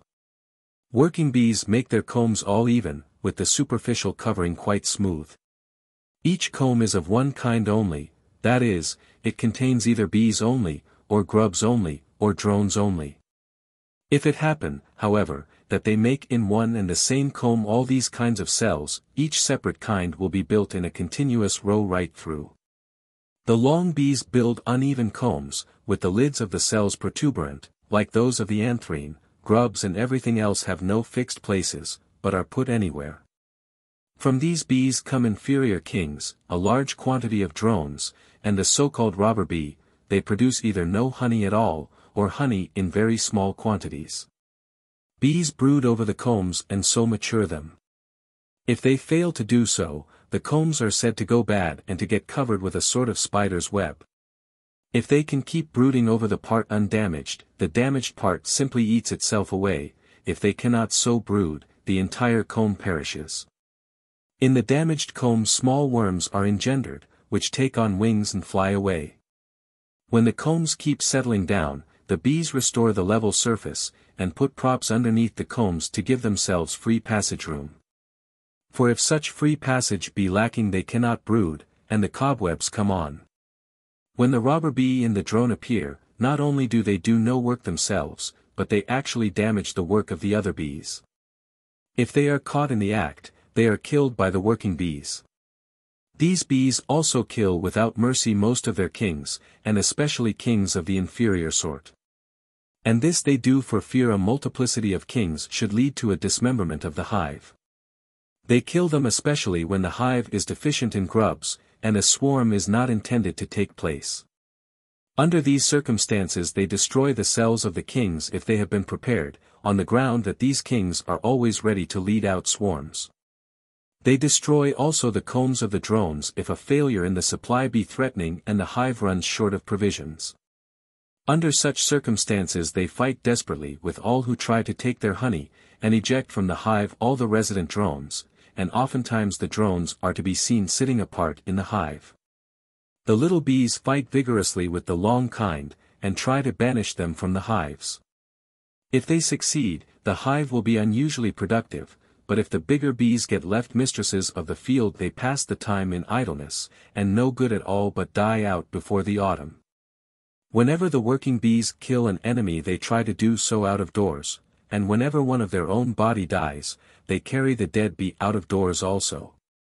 The so-called robber bees spoil their own combs, and, if they can do so unnoticed, enter and spoil the combs of other bees, if they are caught in the act they are put to death. It is no easy task for them to escape detection, for there are sentinels on guard at every entry. And, even if they do escape detection on entering, afterwards from a surfeit of food they cannot fly, but go rolling about in front of the hive, so that their chances of escape are small indeed. The kings are never themselves seen outside the hive except with a swarm in flight, during which time all the other bees cluster around them. When the flight of a swarm is imminent, a monotonous and quite peculiar sound made by all the bees is heard for several days, and for two or three days in advance a few bees are seen flying round the hive.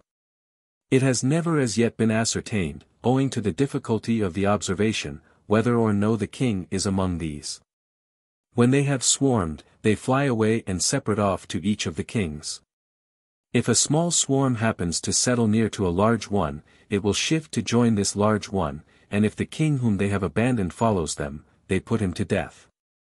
So much for the quitting of the hive and the swarm flight.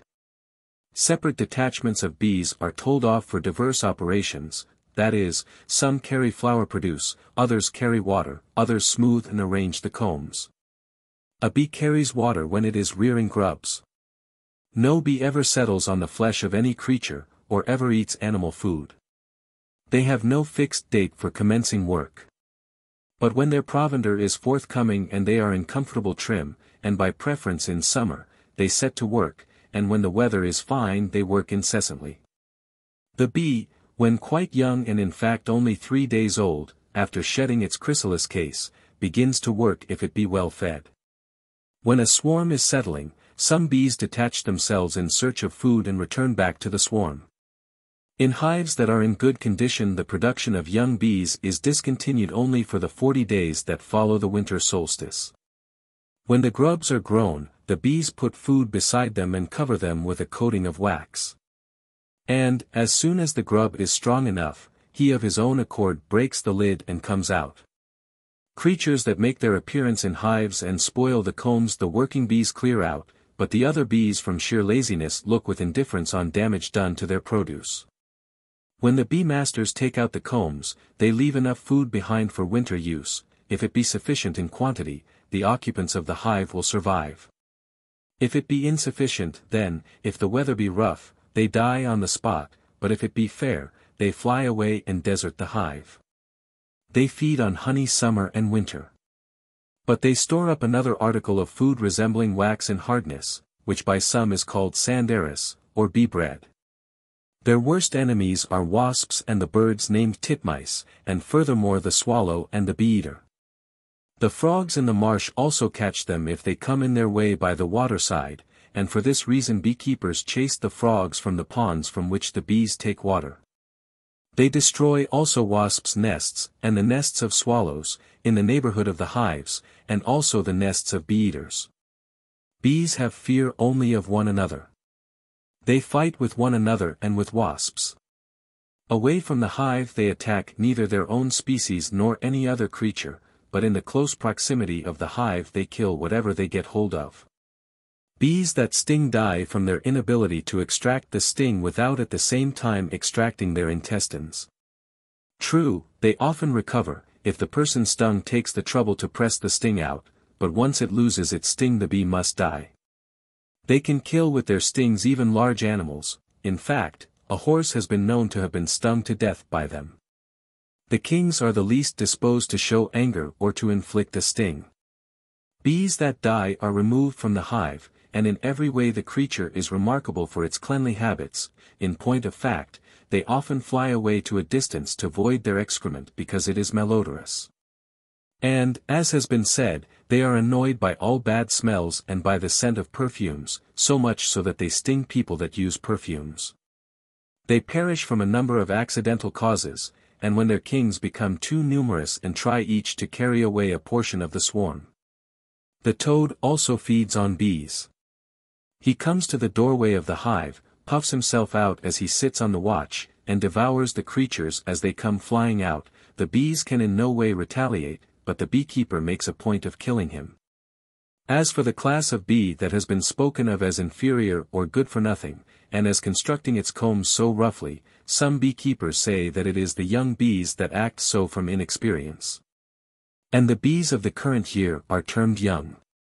The young bees do not sting as the others do, and it is for this reason that swarms may be safely carried, as it is of young bees that they are composed. When honey runs short they expel the drones, and the beekeepers supply the bees with figs and sweet-tasting articles of food.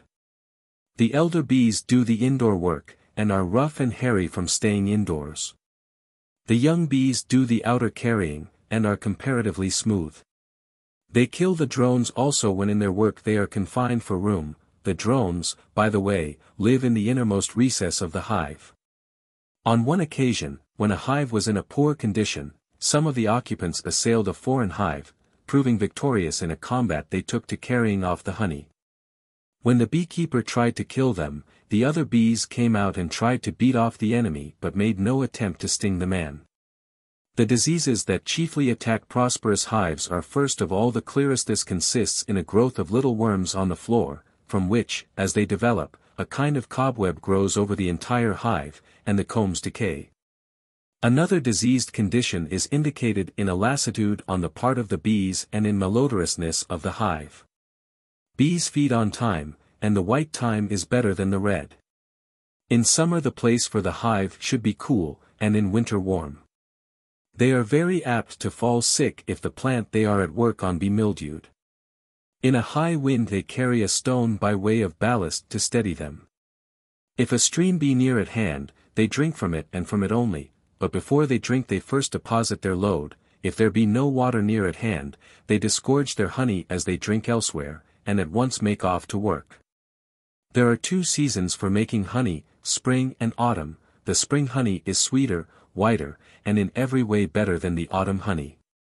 Superior honey comes from fresh comb, and from young shoots. The red honey is inferior, and owes its inferiority to the comb in which it is deposited, just as wine is apt to be spoiled by its cask, consequently, one should have it looked to and dried. When the thyme is in flower and the comb is full, the honey does not harden. The honey that is golden in hue is excellent. White honey does not come from thyme pure and simple, it is good as a salve for sore eyes and wounds. Poor honey always floats on the surface and should be skimmed off, the fine clear honey rests below. When the floral world is in full bloom, then they make wax. Consequently you must then take the wax out of the hive, for they go to work on new wax at once. The flowers from which they gather honey are as follows, the spindle tree, the melilot clover, king spear, myrtle, flowering reed, withy, and broom. When they work at thyme, they mix in water before sealing up the comb. As has been already stated, they all either fly to a distance to discharge their excrement or make the discharge into one single comb. The little bees, as has been said, are more industrious than the big ones, their wings are battered, their color is black, and they have a burnt-up aspect. Gaudy and showy bees, like gaudy and showy women, are good for nothings. Bees seem to take a pleasure in listening to a rattling noise, and consequently men say that they can muster them into a hive by rattling with crockery or stones. It is uncertain, however, whether or no they can hear the noise at all and also whether their procedure is due to pleasure or alarm. They expel from the hive all idlers and unthrifts. As has been said, they differentiate their work. Some make wax, some make honey, some make bee bread, some shape and mold combs, some bring water to the cells and mingle it with the honey, some engage in out-of-door work. At early dawn they make no noise, until some one particular bee makes a buzzing noise two or three times and thereby awakes the rest, hereupon they all fly in a body to work. By and by they return and at first are noisy. Then the noise gradually decreases, until at last some one bee flies round about, making a buzzing noise, and apparently calling on the others to go to sleep, then all of a sudden there is a dead silence. The hive is known to be in good condition if the noise heard within it is loud, and if the bees make a flutter as they go out and in, for at this time they are constructing brood cells. They suffer most from hunger when they recommence work after winter. They become somewhat lazy if the beekeeper, in robbing the hive, leave behind too much honey. Still one should leave cells numerous in proportion to the population, for the bees work in a spiritless way if too few combs are left. They become idle also, as being dispirited, if the hive be too big. A hive yields to the beekeeper six or nine pints of honey, a prosperous hive will yield twelve or fifteen pints, exceptionally good hives eighteen. Sheep and, as has been said, wasps are enemies to the bees. Beekeepers entrap the latter, by putting a flat dish on the ground with pieces of meat on it, when a number of the wasps settle on it, they cover them with a lid and put the dish and its contents on the fire. It is a good thing to have a few drones in a hive, as their presence increases the industry of the workers. Bees can tell the approach of rough weather or of rain.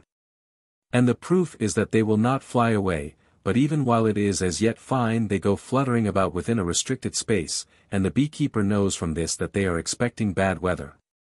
When the bees inside the hive hang clustering to one another, it is a sign that the swarm is intending to quit, consequently, occasion, when a beekeepers, on seeing this, besprinkle the hive with sweet wine. It is advisable to plant about the hives pear trees, beans, median grass, Syrian grass, yellow pulse, myrtle, poppies, creeping thyme, and almond trees. Some beekeepers sprinkle their bees with flour, and can distinguish them from others when they are at work out of doors. If the spring be late, or if there be drought or blight, then grubs are all the fewer in the hives. So much for the habits of bees. 41. Of wasps, there are two kinds. Of these kinds one is wild and scarce, lives on the mountains, engenders grubs not underground but on oak trees, is larger, longer, and blacker than the other kind, is invariably speckled and furnished with a sting, and is remarkably courageous. The pain from its sting is more severe than that caused by the others, for the instrument that causes the pain is larger, in proportion to its own larger size. These wild live over into a second year, and in winter time, when oaks have been in course of felling, they may be seen coming out and flying away. They lie concealed during the winter, and live in the interior of logs of wood. Some of them are mother wasps and some are workers, as with the tamer kind, but it is by observation of the tame wasps that one may learn the varied characteristics of the mothers and the workers. For in the case of the tame wasps also there are two kinds, one consists of leaders, who are called mothers, and the other of workers. The leaders are far larger and milder tempered than the others. The workers do not live over into a second year, but all die when winter comes on, and this can be proved, for at the commencement of winter the workers become drowsy, and about the time of the winter solstice they are never seen at all. The leaders, the so-called mothers, are seen all through the winter, and live in holes underground, for men when ploughing or digging in winter have often come upon mother wasps, but never upon workers. The mode of reproduction of wasps is as follows. At the approach of summer, when the leaders have found a sheltered spot, they take to molding their combs, and construct the so-called sphaecons, little nests containing four cells or thereabouts. And in these are produced working wasps but not mothers. When these are grown up, then they construct other larger combs upon the first, and then again in like manner others. So that by the close of autumn there are numerous large combs in which the leader, the so-called mother, engenders no longer working wasps but mothers. These develop high up in the nest as large grubs, in cells that occur in groups of four or rather more, pretty much in the same way as we have seen the grubs of the king bees to be produced in their cells. After the birth of the working grubs in the cells, the leaders do nothing and the workers have to supply them with nourishment. And this is inferred from the fact that the leaders, of the working wasps, no longer fly out at this time, but rest quietly indoors. Whether the leaders of last year after engendering new leaders are killed by the new brood, and whether this occurs invariably or whether they can live for a longer time, has not been ascertained by actual observation. Neither can we speak with certainty, as from observation, as to the age attained by the mother wasp or by the wild wasps, or as to any other similar phenomenon. The mother wasp is broad and heavy, fatter and larger than the ordinary wasp, and from its weight not very strong on the wing. These wasps cannot fly far, and for this reason they always rest inside the nest, building and managing its indoor arrangements. The so-called mother wasps are found in most of the nests. It is a matter of doubt whether or no they are provided with stings, in all probability, like the king bees, they have stings, but never protrude them for offense. Of the ordinary wasps some are destitute of stings, like the drone bees, and some are provided with them. Those unprovided therewith are smaller and less spirited and never fight, while the others are big and courageous. And these latter, by some, are called males, and the stingless, females. At the approach of winter many of the wasps that have stings appear to lose them, but we have never met an eyewitness of this phenomenon. Wasps are more abundant in times of drought and in wild localities. They live underground, their combs they mold out of chips and earth, each comb from a single origin, like a kind of root. They feed on certain flowers and fruits, but for the most part on animal food. Some of the tame wasps have been observed when sexually united, but it was not determined whether both, or neither, had stings, or whether one had a sting and the other had not.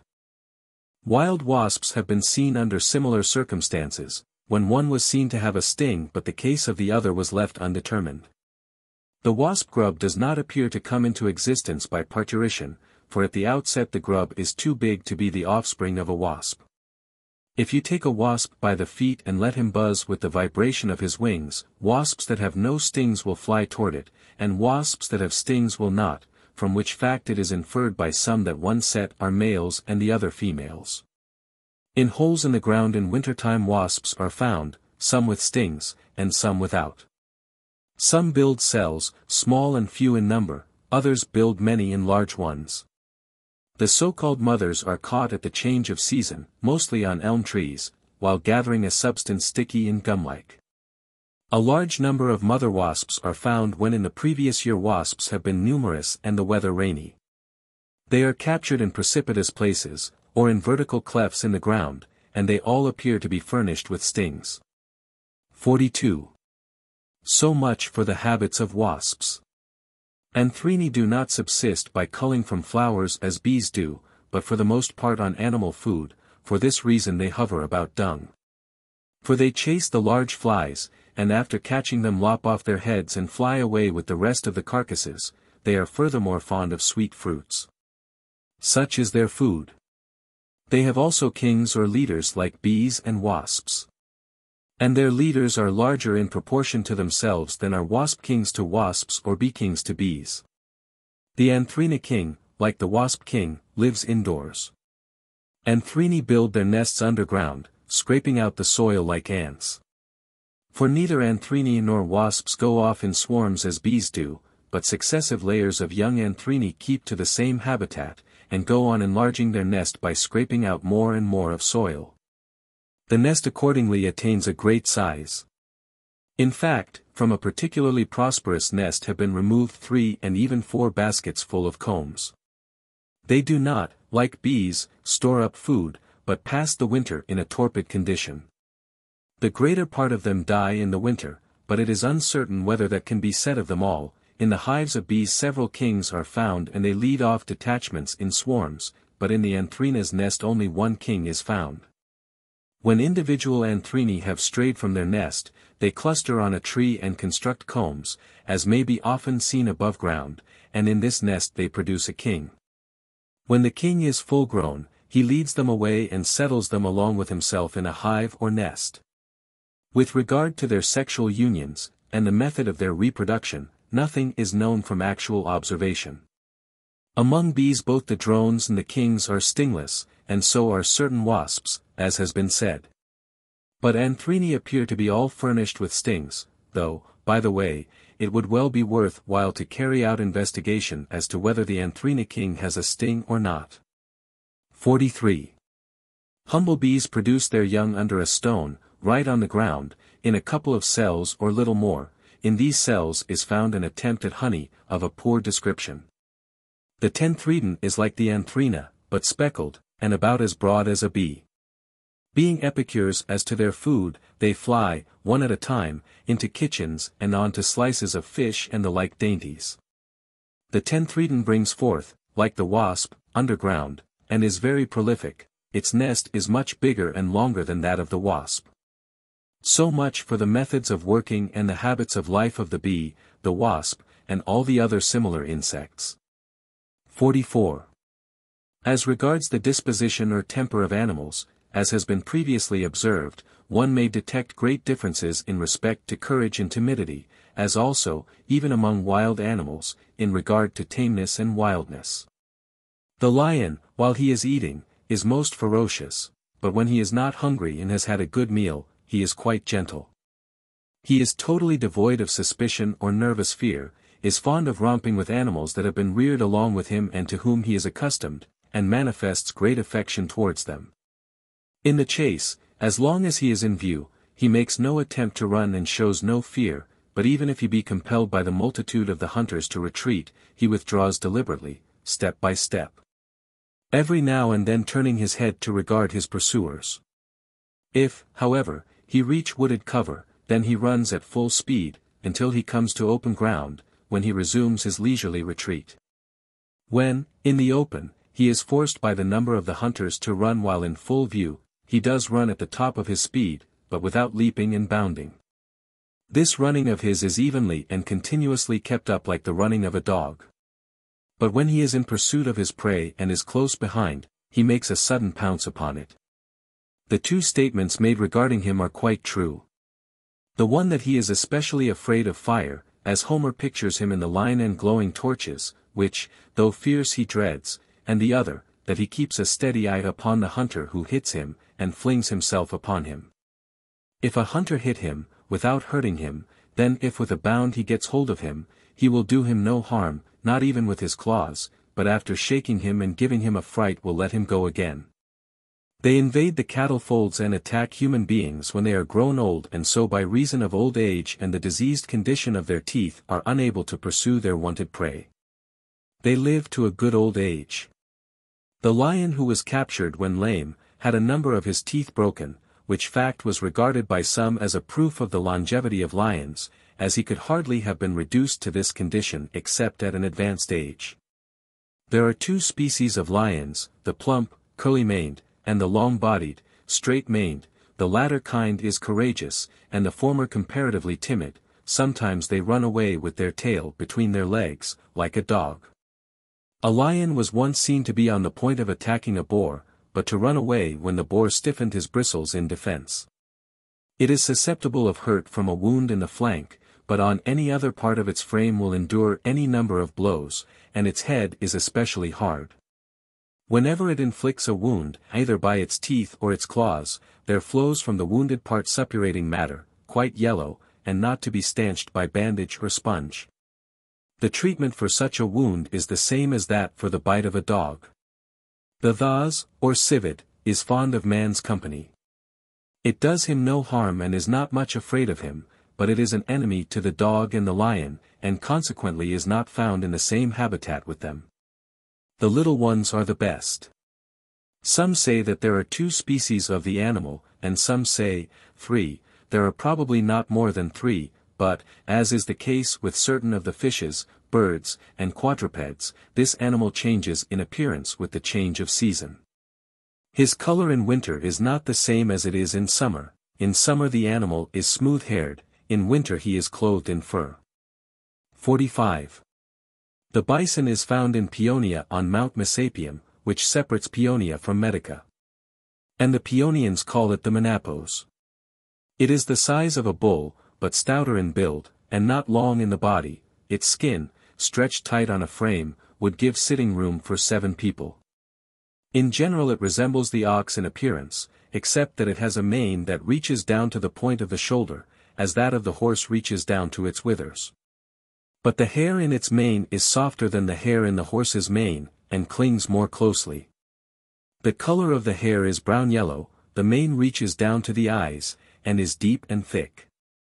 The color of the body is half red, half ashen gray, like that of the so-called chestnut horse, but rougher. It has an undercoat of woolly hair. The animal is not found either very black or very red. It has the bellow of a bull.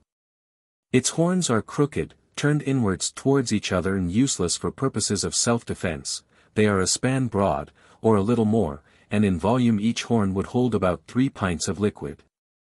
The black color of the horn is beautiful and bright. The tuft of hair on the forehead reaches down to the eyes, so that the animal sees objects on either flank better than objects right in front. It has no upper teeth, as is the case also with kine and all other horned animals. Its legs are hairy, it is cloven-footed, and the tail, which resembles that of the ox, seems not big enough for the size of its body. It tosses up dust and scoops out the ground with its hooves, like the bull. Its skin is impervious to blows.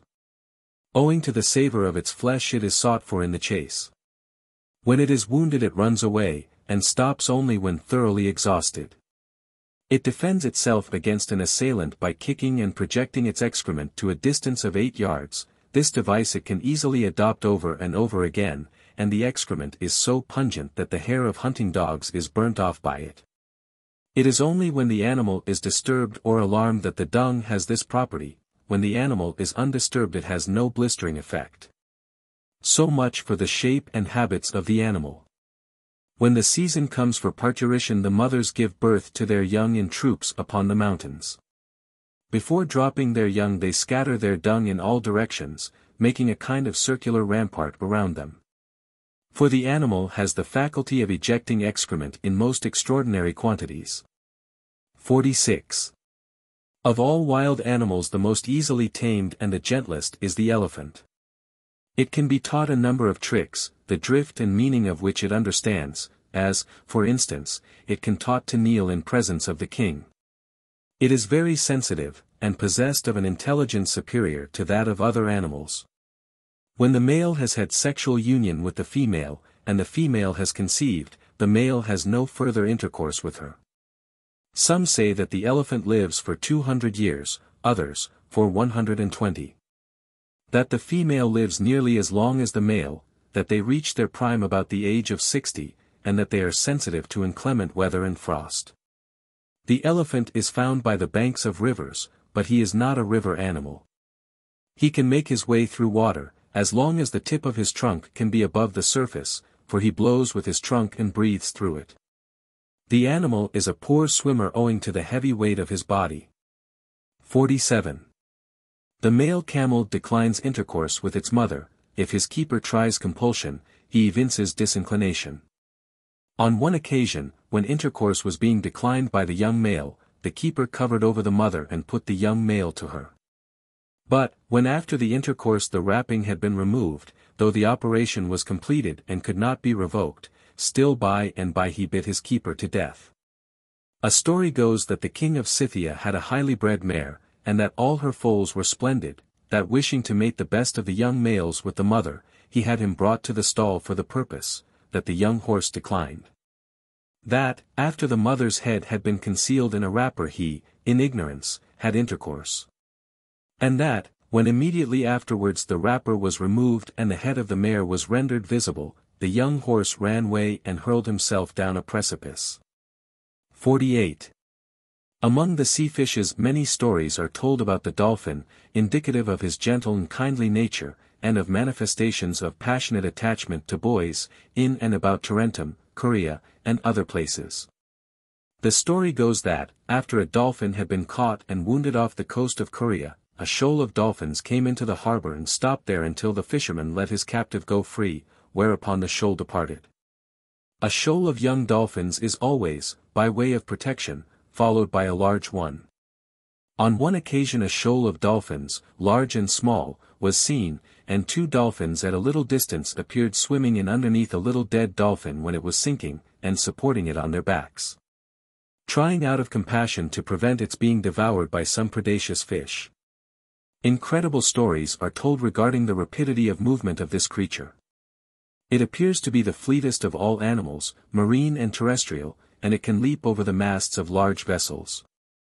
This speed is chiefly manifested when they are pursuing a fish for food, then, if the fish endeavors to escape, they pursue him in their ravenous hunger down to deep waters.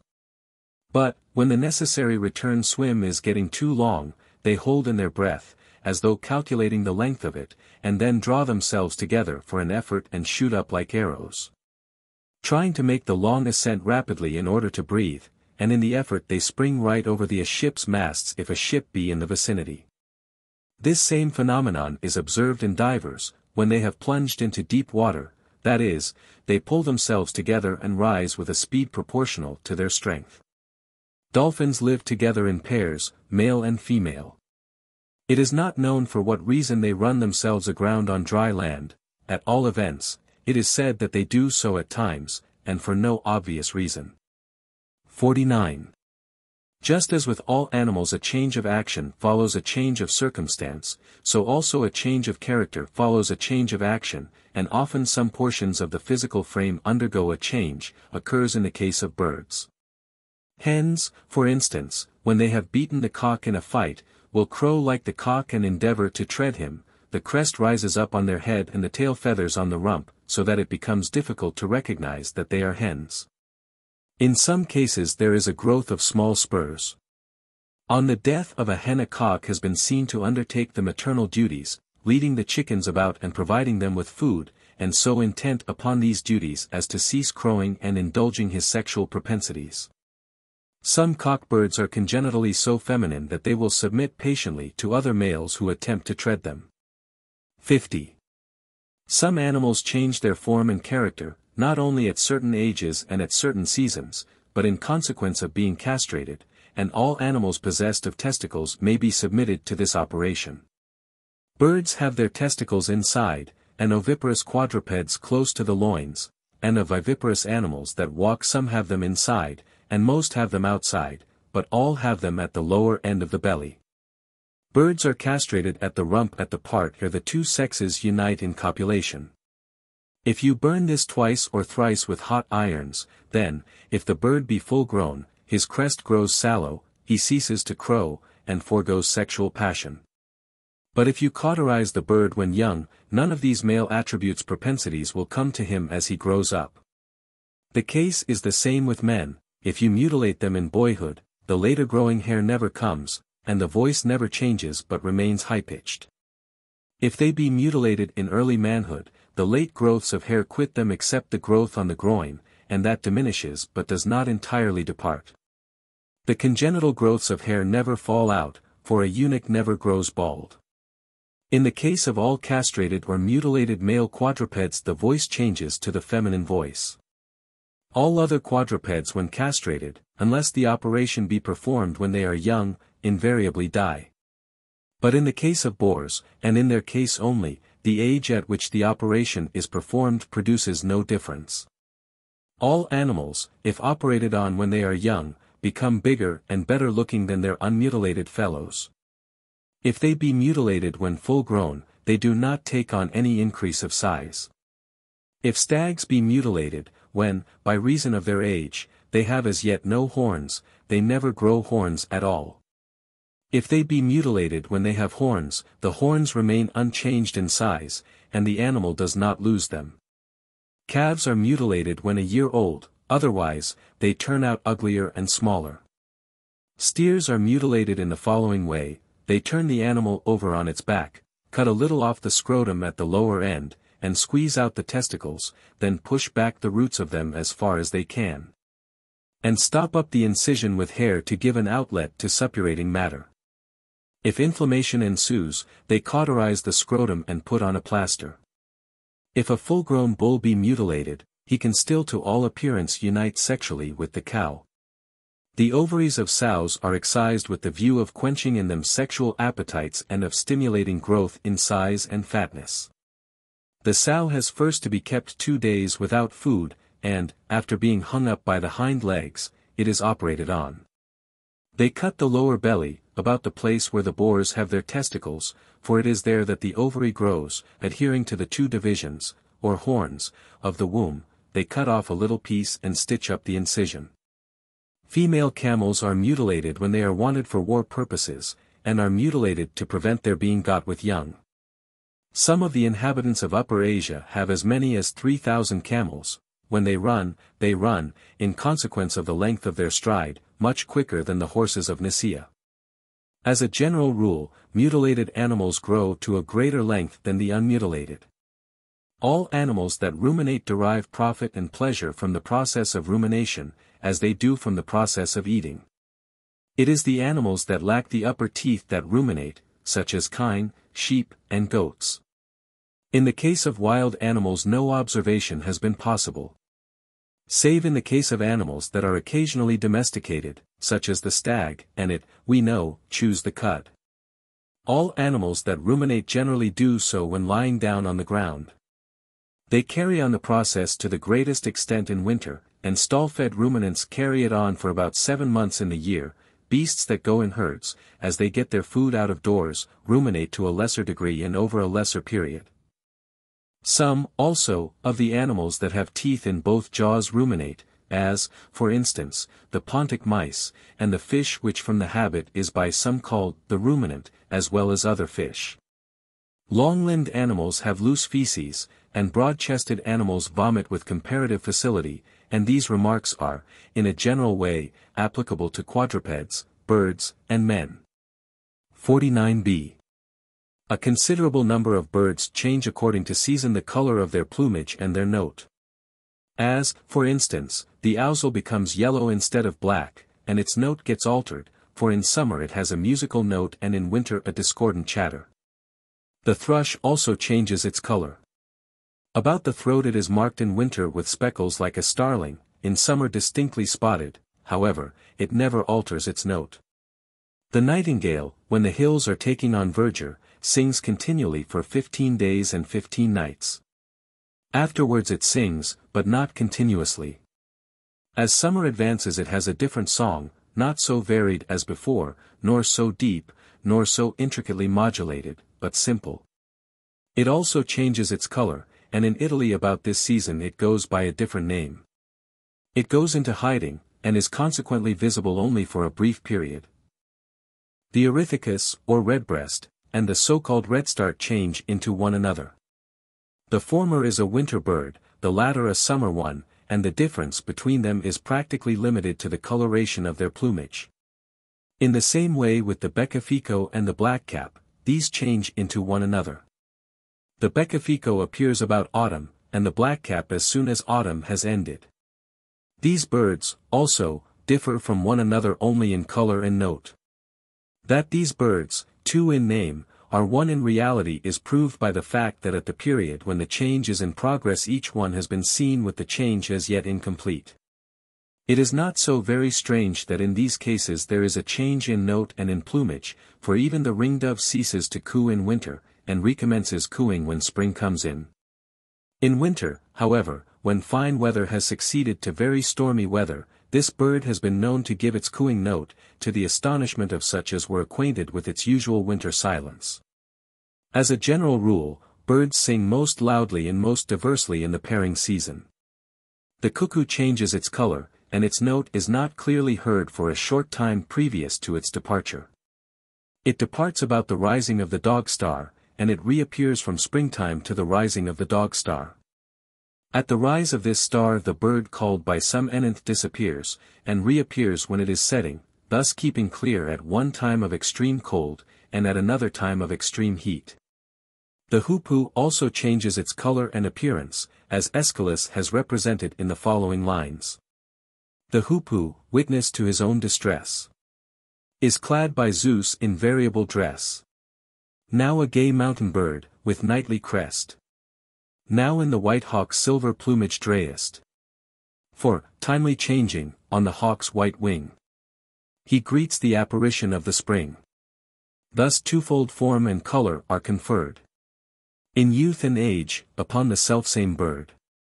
The spangled raiment marks his youthful days. The argent his maturity displays. And when the fields are yellow with ripe corn. Again his party-colored plumes are worn. But evermore, in sullen discontent. He seeks the lonely hills, in self-sought banishment. Of birds, some take a dust bath by rolling in dust, some take a water bath, and some take neither the one bath nor the other. Birds that do not fly but keep on the ground take the dust bath, as for instance the hen, the partridge, the francolin, the crested lark, the pheasant. Some of the straight-taloned birds, and such as live on the banks of a river, in marshes, or by the sea, take a water bath, some birds take both the dust bath and the water bath, as for instance the pigeon and the sparrow. Of the crooked-taloned birds the greater part take neither the one bath nor the other. So much for the ways of the above-mentioned, but some birds have a peculiar habit of making a noise at their hinder quarters, as, for instance, the turtle-dove. And they make a violent movement of their tails at the same time that they produce this peculiar sound.